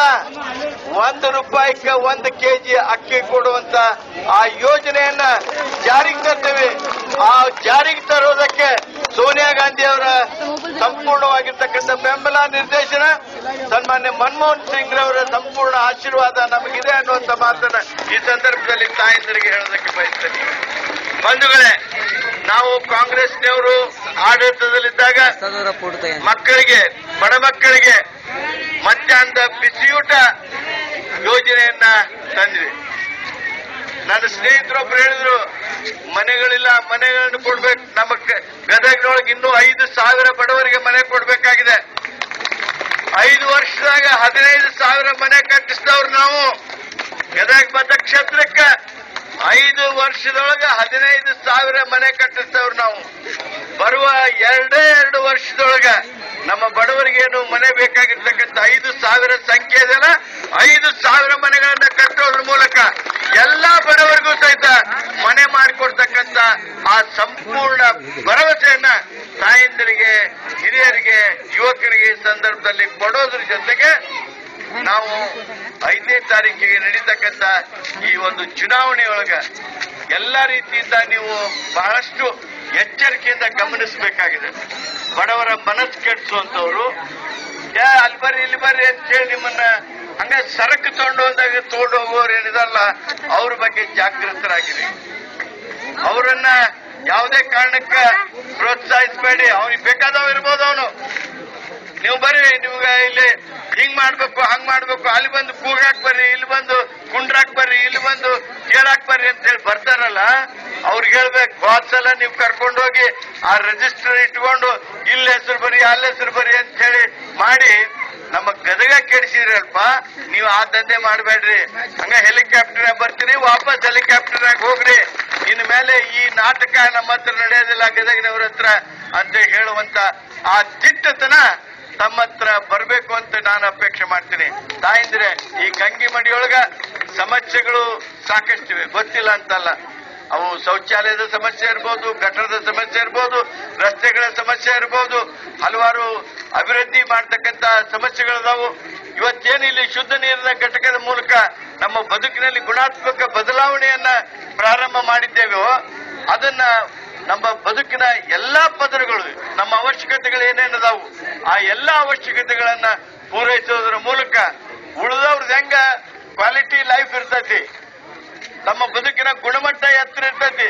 ಅದು ನೀರಿನೊಳಗಿರ್ಬೋದು, ಶೌಚಾಲಯದೊಳಗಿರ್ಬೋದು, ಶಿಸ್ತಿನೊಳಗಿರ್ಬೋದು, ಅರಬಿಯೊಳಗಿರ್ಬೋದು, ಅಥವಾ ಶಾಲೆ ಶಿಕ್ಷಣದೊಳಗಿರ್ಬೋದು, ಆರೋಗ್ಯದೊಳಗಿರ್ಬೋದು, ಆ ಬದುಕಿನ ಗುಣಮಟ್ಟ ನಮ್ಮ ಬಡವರಿಗೂ ಬರಬೇಕು. ಆ ಕೆಲಸ ಮಾಡೋದಕ್ಕಾಗಿ ನನಗೆ ತಾವೆಲ್ಲ ಗದಗ ಮತಕ್ಷೇತ್ರವನ್ನ ಪ್ರತಿನಿಧಿಸುವಂತ ಆಶೀರ್ವಾದ ಮಾಡಬೇಕು. ನೀವೆಲ್ಲ ಪ್ರಯತ್ನ ಪಟ್ರಿ ಅಂತಂದ್ರ ನನ್ನ ಚುನಾವಣೆಯೊಳಗ ನಲವತ್ತೈವತ್ತು ಸಾವಿರ ಲೀಡು ಮಾಡಿಸೋದಕ್ಕೆ ನಿಮ್ಮ ಕೈಯೊಳಗೈತೆ ನೀವ ದೊಡ್ಡ ಲೀಡ್ ಕೊಟ್ರಿ, ಸೋನಿಯಾ ಗಾಂಧಿಗೆ ನಾ ಹೇಳ್ತೇನೆ, ತಾಯಿ ಬಡವರು ಯಾರು, ನೀನು ಅವ್ರ ಮೇಲೆ ಅಭಿಮಾನ ಇಟ್ಟು ರೂಪಾಯಿ ಕೆಜಿ ಮಾಡಿದಿ. ಹದಿನೈದು ಕೆಜಿ ಮಾಡಿದ್ರು ಬಿಜೆಪಿ ಅವರು ಅಂತೇಳಿ ಸಿಟ್ಟಿಗೆ ಮೂವತ್ತು ಕೆಜಿ ಮಾಡಿದ್ರಿ ಬಡವರಿಗೆಲ್ಲ ಮನೆ ಕೊಡಬೇಕು ಅಂತ ಹೇಳಿ ಕಾನೂನನ್ನ ಮಾಡೋದಕ್ಕೆ ಇವತ್ತು ಹೊರಟಿದೆ ಫುಡ್ ಸೆಕ್ಯೂರಿಟಿ ಆಕ್ಟ್ ಅನ್ನ ಏನ್ ನಾವು ಜಾರಿಗೆ ತಂದೇವಿ. ದೊಡ್ಡ ದೊಡ್ಡ ಶಾಲೆಯೊಳಗ ಬಡವರ ಮಕ್ಕಳಿಗಾಗಿ ಇವತ್ತು ಮೀಸಲಾತಿ ಇಡ್ತೇವೆ ಆ ಎಲ್ಲಾ ಕಾರ್ಯಕ್ರಮಗಳಿಗೆ ಬಡವರ ಸಿಕ್ಕ ಅಪ್ರೂವಲ್ ಸಿಕ್ಕಿದೆ. ಅದಕ್ಕ ಐವತ್ ಸಾವಿರ ಲೀಡ್ ಕೊಟ್ಟಾರಮ್ಮ ನನಗ ಅದಕ್ಕೆ ನೀನು ಅವ್ರಿಗೆ ಕೃತಜ್ಞರಾಗಿರ್ಬೇಕು ನನಗೆ ಪ್ರೋತ್ಸಾಹ ಮಾಡಬೇಕು ಅಂತೇಳಿ ಆ ಮಾತು ಹೇಳೋದಕ್ಕೆ ಸಾಧ್ಯ ಆಗ್ತದ ಆ ಕಾರಣಕ್ಕೆ ನನಗೆ ಅತ್ಯಂತ ದೊಡ್ಡ ಲೀಡ್ ಅನ್ನ ಪ್ರಚಂಡ ಬಹುಮತವನ್ನ ತಾವು ಕೊಡಬೇಕು ಅಂತೇಳಿ ತಮ್ಮೆಲ್ಲರಲ್ಲಿ ಕೈ ಮುಗಿದು ಕೇಳಿ ನನ್ನ ಮಾತನ್ನ ಮುಗಿಸ್ತೇನೆ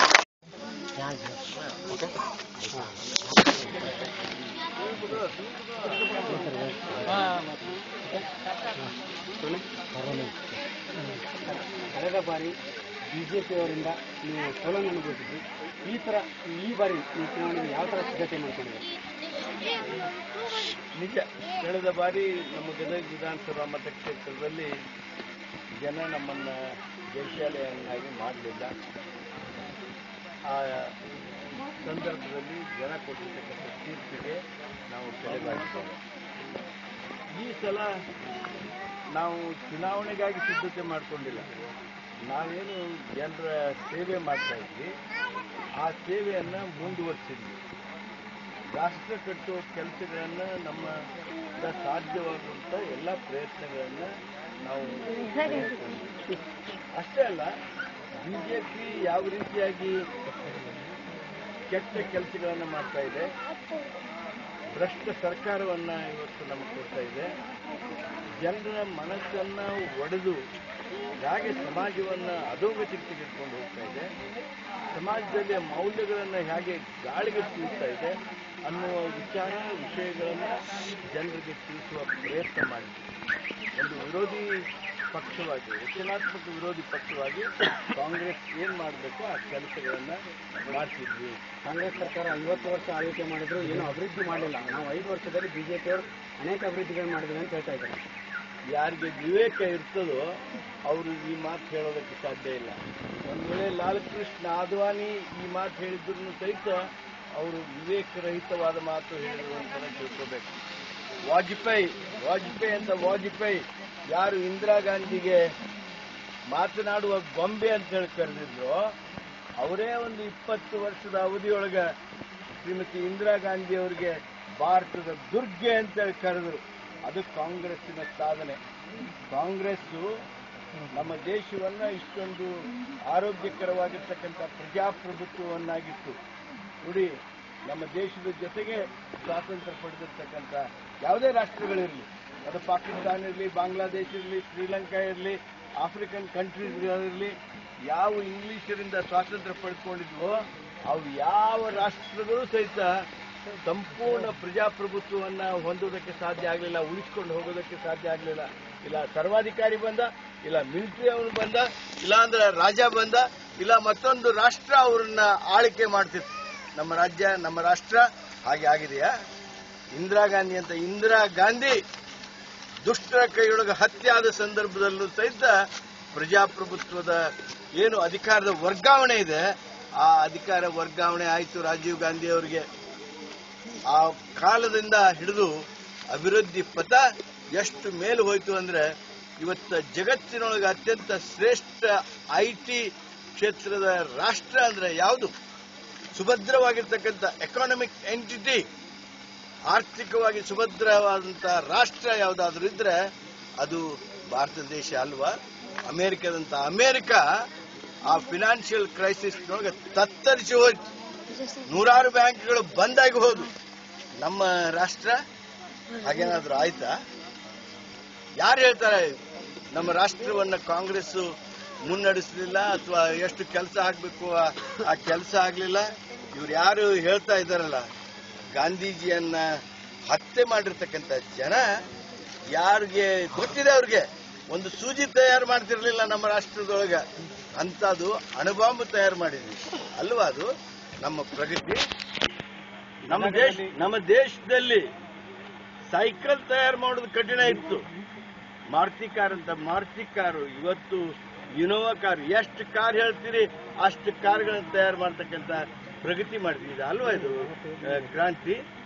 ಏನು ಬಯೋಟೆಕ್ನಾಲಜಿ ಒಳಗೆ ವಿದ್ಯಾಕ್ಷೇತ್ರದೊಳಗೆ ನಮ್ಮ ದೇಶದಲ್ಲಿ ಲಕ್ಷ, ಲಕ್ಷಗಟ್ಟಲೆ ವೈದ್ಯರನ್ನ ಇಂಜಿನಿಯರ್ಗಳನ್ನ ಸಿದ್ಧ ಮಾಡಿ ಜಗತ್ತಿನಲ್ಲೇ ಮೇಧಾವಿಗಳು ಅಂತೇಳಿ ಹೇಳ್ತಾ ಇದ್ದೀವಿ. ಅವ್ರು ಕರಿತಾ ಇದ್ದೀವಿ. ಇದು ನಮ್ಮ ರಾಷ್ಟ್ರದ ಸಾಧನೆ ಅಲ್ವಾ? ಯಾರು ರಾಷ್ಟ್ರ ಭಕ್ತ ಇದ್ದಾನೋ ಅವನು ಯಾವ ಕಾಲಕ್ಕೂ ನಮ್ಮ ದೇಶದ ಪ್ರಗತಿ ಆಗಿಲ್ಲ ಅಂತ ಹೇಳೋದಕ್ಕೆ ಸಾಧ್ಯ ಇಲ್ಲ. ಯಾರು ರಾಷ್ಟ್ರದ್ರೋಹಿಗಳಿದಾರೋ ಅವರು ಮಾತ್ರ ಇಂಥ ಕುಹಕ ಮಾತುಗಳನ್ನು ಆಡೋದು, ಅಪಸ್ವರದ ಮಾತುಗಳನ್ನು ಆಡೋದು ಮಾಡ್ತಾ ಇದ್ದಾರೆ ಅನ್ನುವಂಥ ಸ್ಪಷ್ಟ ಮಾತನ್ನು ಈ ಸಂದರ್ಭದಲ್ಲಿ ಹೇಳೋದು ಅತ್ಯಂತ ಅನಿವಾರ್ಯ. ಎಚ್ ಕೆ ಪಾಟೀಲ್ರು ಅನೇಕ ಬಾರಿ ಮಿನಿಸ್ಟರ್ಗಳಾದ್ರು. ಗದಗಿಗೆ ಯಾವುದೇ ಒಂದು ಅಭಿವೃದ್ಧಿ ಕೆಲಸಗಳನ್ನು ಮಾಡಿಲ್ಲ ಅಂತ ಒಂದು ಬಿಜೆಪಿ ಅವರ ಒಂದು ಮಾತು. ಕಣ್ಣಿದ್ದವ್ರಿಗೆ ತೋರ್ಸಾಕ್ ಬರ್ತೈತಿ, ಮನಸ್ಸಿದ್ದವ್ರಿಗೆ ತಿಳಿಸಾಕ್ ಬರ್ತೈತಿ. ಗಂಗಿಮಡಿಗೆ ಬಂದು ನೋಡ್ಲಿ, ಇವ್ರೇನು ಕಟ್ಸಿಲ್ಲ, ಮಾಡಿಲ್ಲ ಅಂತಾರಲ್ಲ ಗಂಗಿಮಡಿ ಇತ್ತು ಮೊದ್ಲಕ್ಕೆ? ಇಲ್ಲೇ ಪಕ್ಕಕ್ಕೆ ಇಂಡಸ್ಟ್ರಿಯಲ್ ಎಸ್ಟೇಟ್ ಐತಲ್ಲ ಹಂಡ್ರೆಡ್ ಇಂಡಸ್ಟ್ರೀಸ್ ಇಂಡಸ್ಟ್ರಿಯಲ್ ಎಸ್ಟೇಟ್ ಇದೇನಿತ್ತ ಬಿಜೆಪಿ ಸರ್ಕಾರ ಬರೋಕ್ಕಿಂತ ಮೊದ್ಲಕ್ಕೆ? ಇರ್ಲಿಲ್ವಾ ಅದು? ಈ ನಮ್ಮ ಜಿಲ್ಲಾಡಳಿತ ಭವನ ಅದಲ್ವಾ? ಅದು ಕಾಂಗ್ರೆಸ್ ಕೊಡುಗೆ ಎಚ್ ಕೆ ಪಾಟೀಲ್ ಕೊಡುಗೆ ಅಲ್ವಾ? ಇವತ್ತು ಸಿಂಗ್ತಾಲೂರು ಯೋಜನೆ ಐದ್ನೂರ ತೊಂಬತ್ತೈದು ಕೋಟಿದು ಗದಗ್ ನೀರಾವರಿ ಆಗುತ್ತೆ. ಗದಗ್ ಬೆಟಗೇರಿ ನೀರಾವರಿ ಆಗುತ್ತೆ. ಗದಗ್ ಮತಕ್ಷೇತ್ರದಲ್ಲಿ ಎಪ್ಪತ್ತು ಸಾವಿರ ಎಕರೆ ಭೂಮಿ ನೀರಾವರಿ ಆಗುತ್ತದೆ ಇದು ಅಲ್ವಾ ನಮ್ಮ ಸಾಧನೆ? Textile institute Karnataka text handloom textile institute ಏನಿದೆ ಅದಲ್ವಾ ಅದು ನಮ್ಮ ಸಾಧನೆ? ಇವತ್ತು ಗದಗ ಮತಕ್ಷೇತ್ರದೊಳಗ ಹದಿನಾಲ್ಕು ಸಾವಿರ ಮನೆ ಕಟ್ಟಿದ್ವಿ. ಬೇಕಾದ ರಸ್ತೆಗೆ ಹೋಗಿ ನೀವು. ನೀವು ಹೊಂಬಳ ರಸ್ತೆಗೆ ಹೋಗ್ರಿ ಕೃಷ್ಣನಗರ ಕಾಣ್ತೈತಿ ಹಿರಿಯಂದಿಗೋಳ ರಸ್ತೆಗೆ ಬರ್ರಿ, ಗಂಗಿಮಡಿ ಕಾಣ್ತೈತಿ, ರೋಣ್ ರಸ್ತೆಗೆ ಹೋಗ್ರಿ, ನರ್ಸಾಪುರ ಕಾಲನಿ ಕಾಣ್ತೈತಿ, ಹಾತ್ಲಗೇರಿ ರಸ್ತೆಗೆ ಹೋಗ್ರಿ, ಹಮಾಲ್ರ ಕಾಲನಿ ಕಾಣ್ತೈತಿ, ಸಂಬಾಪುರ ರಸ್ತೆಗೆ ಹೋಗ್ರಿ, ಶ್ರಮಜೀವಿಗಳ ಕಾಲನಿ ಕಾಣ್ತೈತಿ, ಕಳಸಾಪುರ ರಸ್ತೆಗೆ ಹೋಗ್ರಿ, ನಿಮ್ಗೆ K S R T C colony ಕಾಣ್ತೈತಿ, ಸುಡುಗಾಡ್ ಸಿದ್ರ ಕಾಲನಿ ಕಾಣ್ತೈತಿ, ರಾಮ್ ಕೊಂಡೇಡ್ರ ಕಾಲನಿ ಕಾಣ್ತೈತಿ ಇವು ಅಲ್ವಾ ಇವು? ಮಲ್ಸಮುದ್ರ ರಸ್ತೆಗೆ ಹೋಗ್ರಿ. ಹೌಸಿಂಗ್ ಬೋರ್ಡ್ನ ಒಂದು ದೊಡ್ಡದಾಗಿರ್ತಕ್ಕಂಥ ಈ ಒಂದು ಮನೆಗಳ ಸಂಕೀರ್ಣ ಬರ್ತಾ ಇದೆ ಅಲ್ಲ? ಅದು ನಮ್ಮ ಕಾಂಗ್ರೆಸ್ಸಿನ ಸಾಧನೆ. ನಿಮ್ಮ ಕಣ್ಣಿದ್ರ ನೀವು ನೋಡ್ರಿ. ನೀವ ಕಣ್ಣ ಮುಚ್ಕೊಂಡ್ರ ನಾವೇನ್ ಮಾಡಕ್ಕಾಗುತ್ತೆ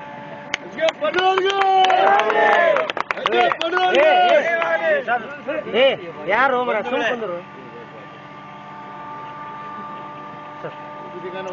ನಮ್ಮ ಗದಗ ಕ್ಷೇತ್ರ ಇತಿಹಾಸ ಸೃಷ್ಟಿ ಮಾಡಿರ್ತಕ್ಕಂಥ ಶ್ರೇಷ್ಠ ಕ್ಷೇತ್ರ ಇದು. ಸಹಕಾರ ಕ್ಷೇತ್ರವನ್ನು ಹುಟ್ಟು ಹಾಕಿರ್ತಕ್ಕಂಥ ಕ್ಷೇತ್ರ ಇದು. ಶುದ್ಧ ನೀರಿಗಾಗಿ ಜಗತ್ತಿನಲ್ಲೇ ಬಡವರು ಶುದ್ಧ ನೀರು ಕುಡಿಬಹುದು ಅಂತೇಳಿ ಬಡವರ ಲೊಕ್ಯಾಲಿಟಿ ಒಳಗೆ ಶುದ್ಧ ನೀರಿನ ಘಟಕ ಸ್ಥಾಪನೆ ಮಾಡೋದ್ರ ಮೂಲಕ ಜಗತ್ತಿನಲ್ಲಿ ಒಂದು ದಾಖಲೆಯನ್ನು ಸಾಧಿಸಿರ್ತಕ್ಕಂಥ ಒಂದು ಕ್ಷೇತ್ರ ಗದಗ ಕ್ಷೇತ್ರ ಇದು ಕಾಂಗ್ರೆಸ್ಸಿಗರ ಸಾಧನೆ ಅಲ್ವಾ? ಕಾಂಗ್ರೆಸ್ಸಿಗರ ಕೊಡುಗೆ ಅಲ್ವಾ? H K Patil D R ಪಾಟೀಲ್ರ ಕೊಡುಗೆ ಅಲ್ವಾ?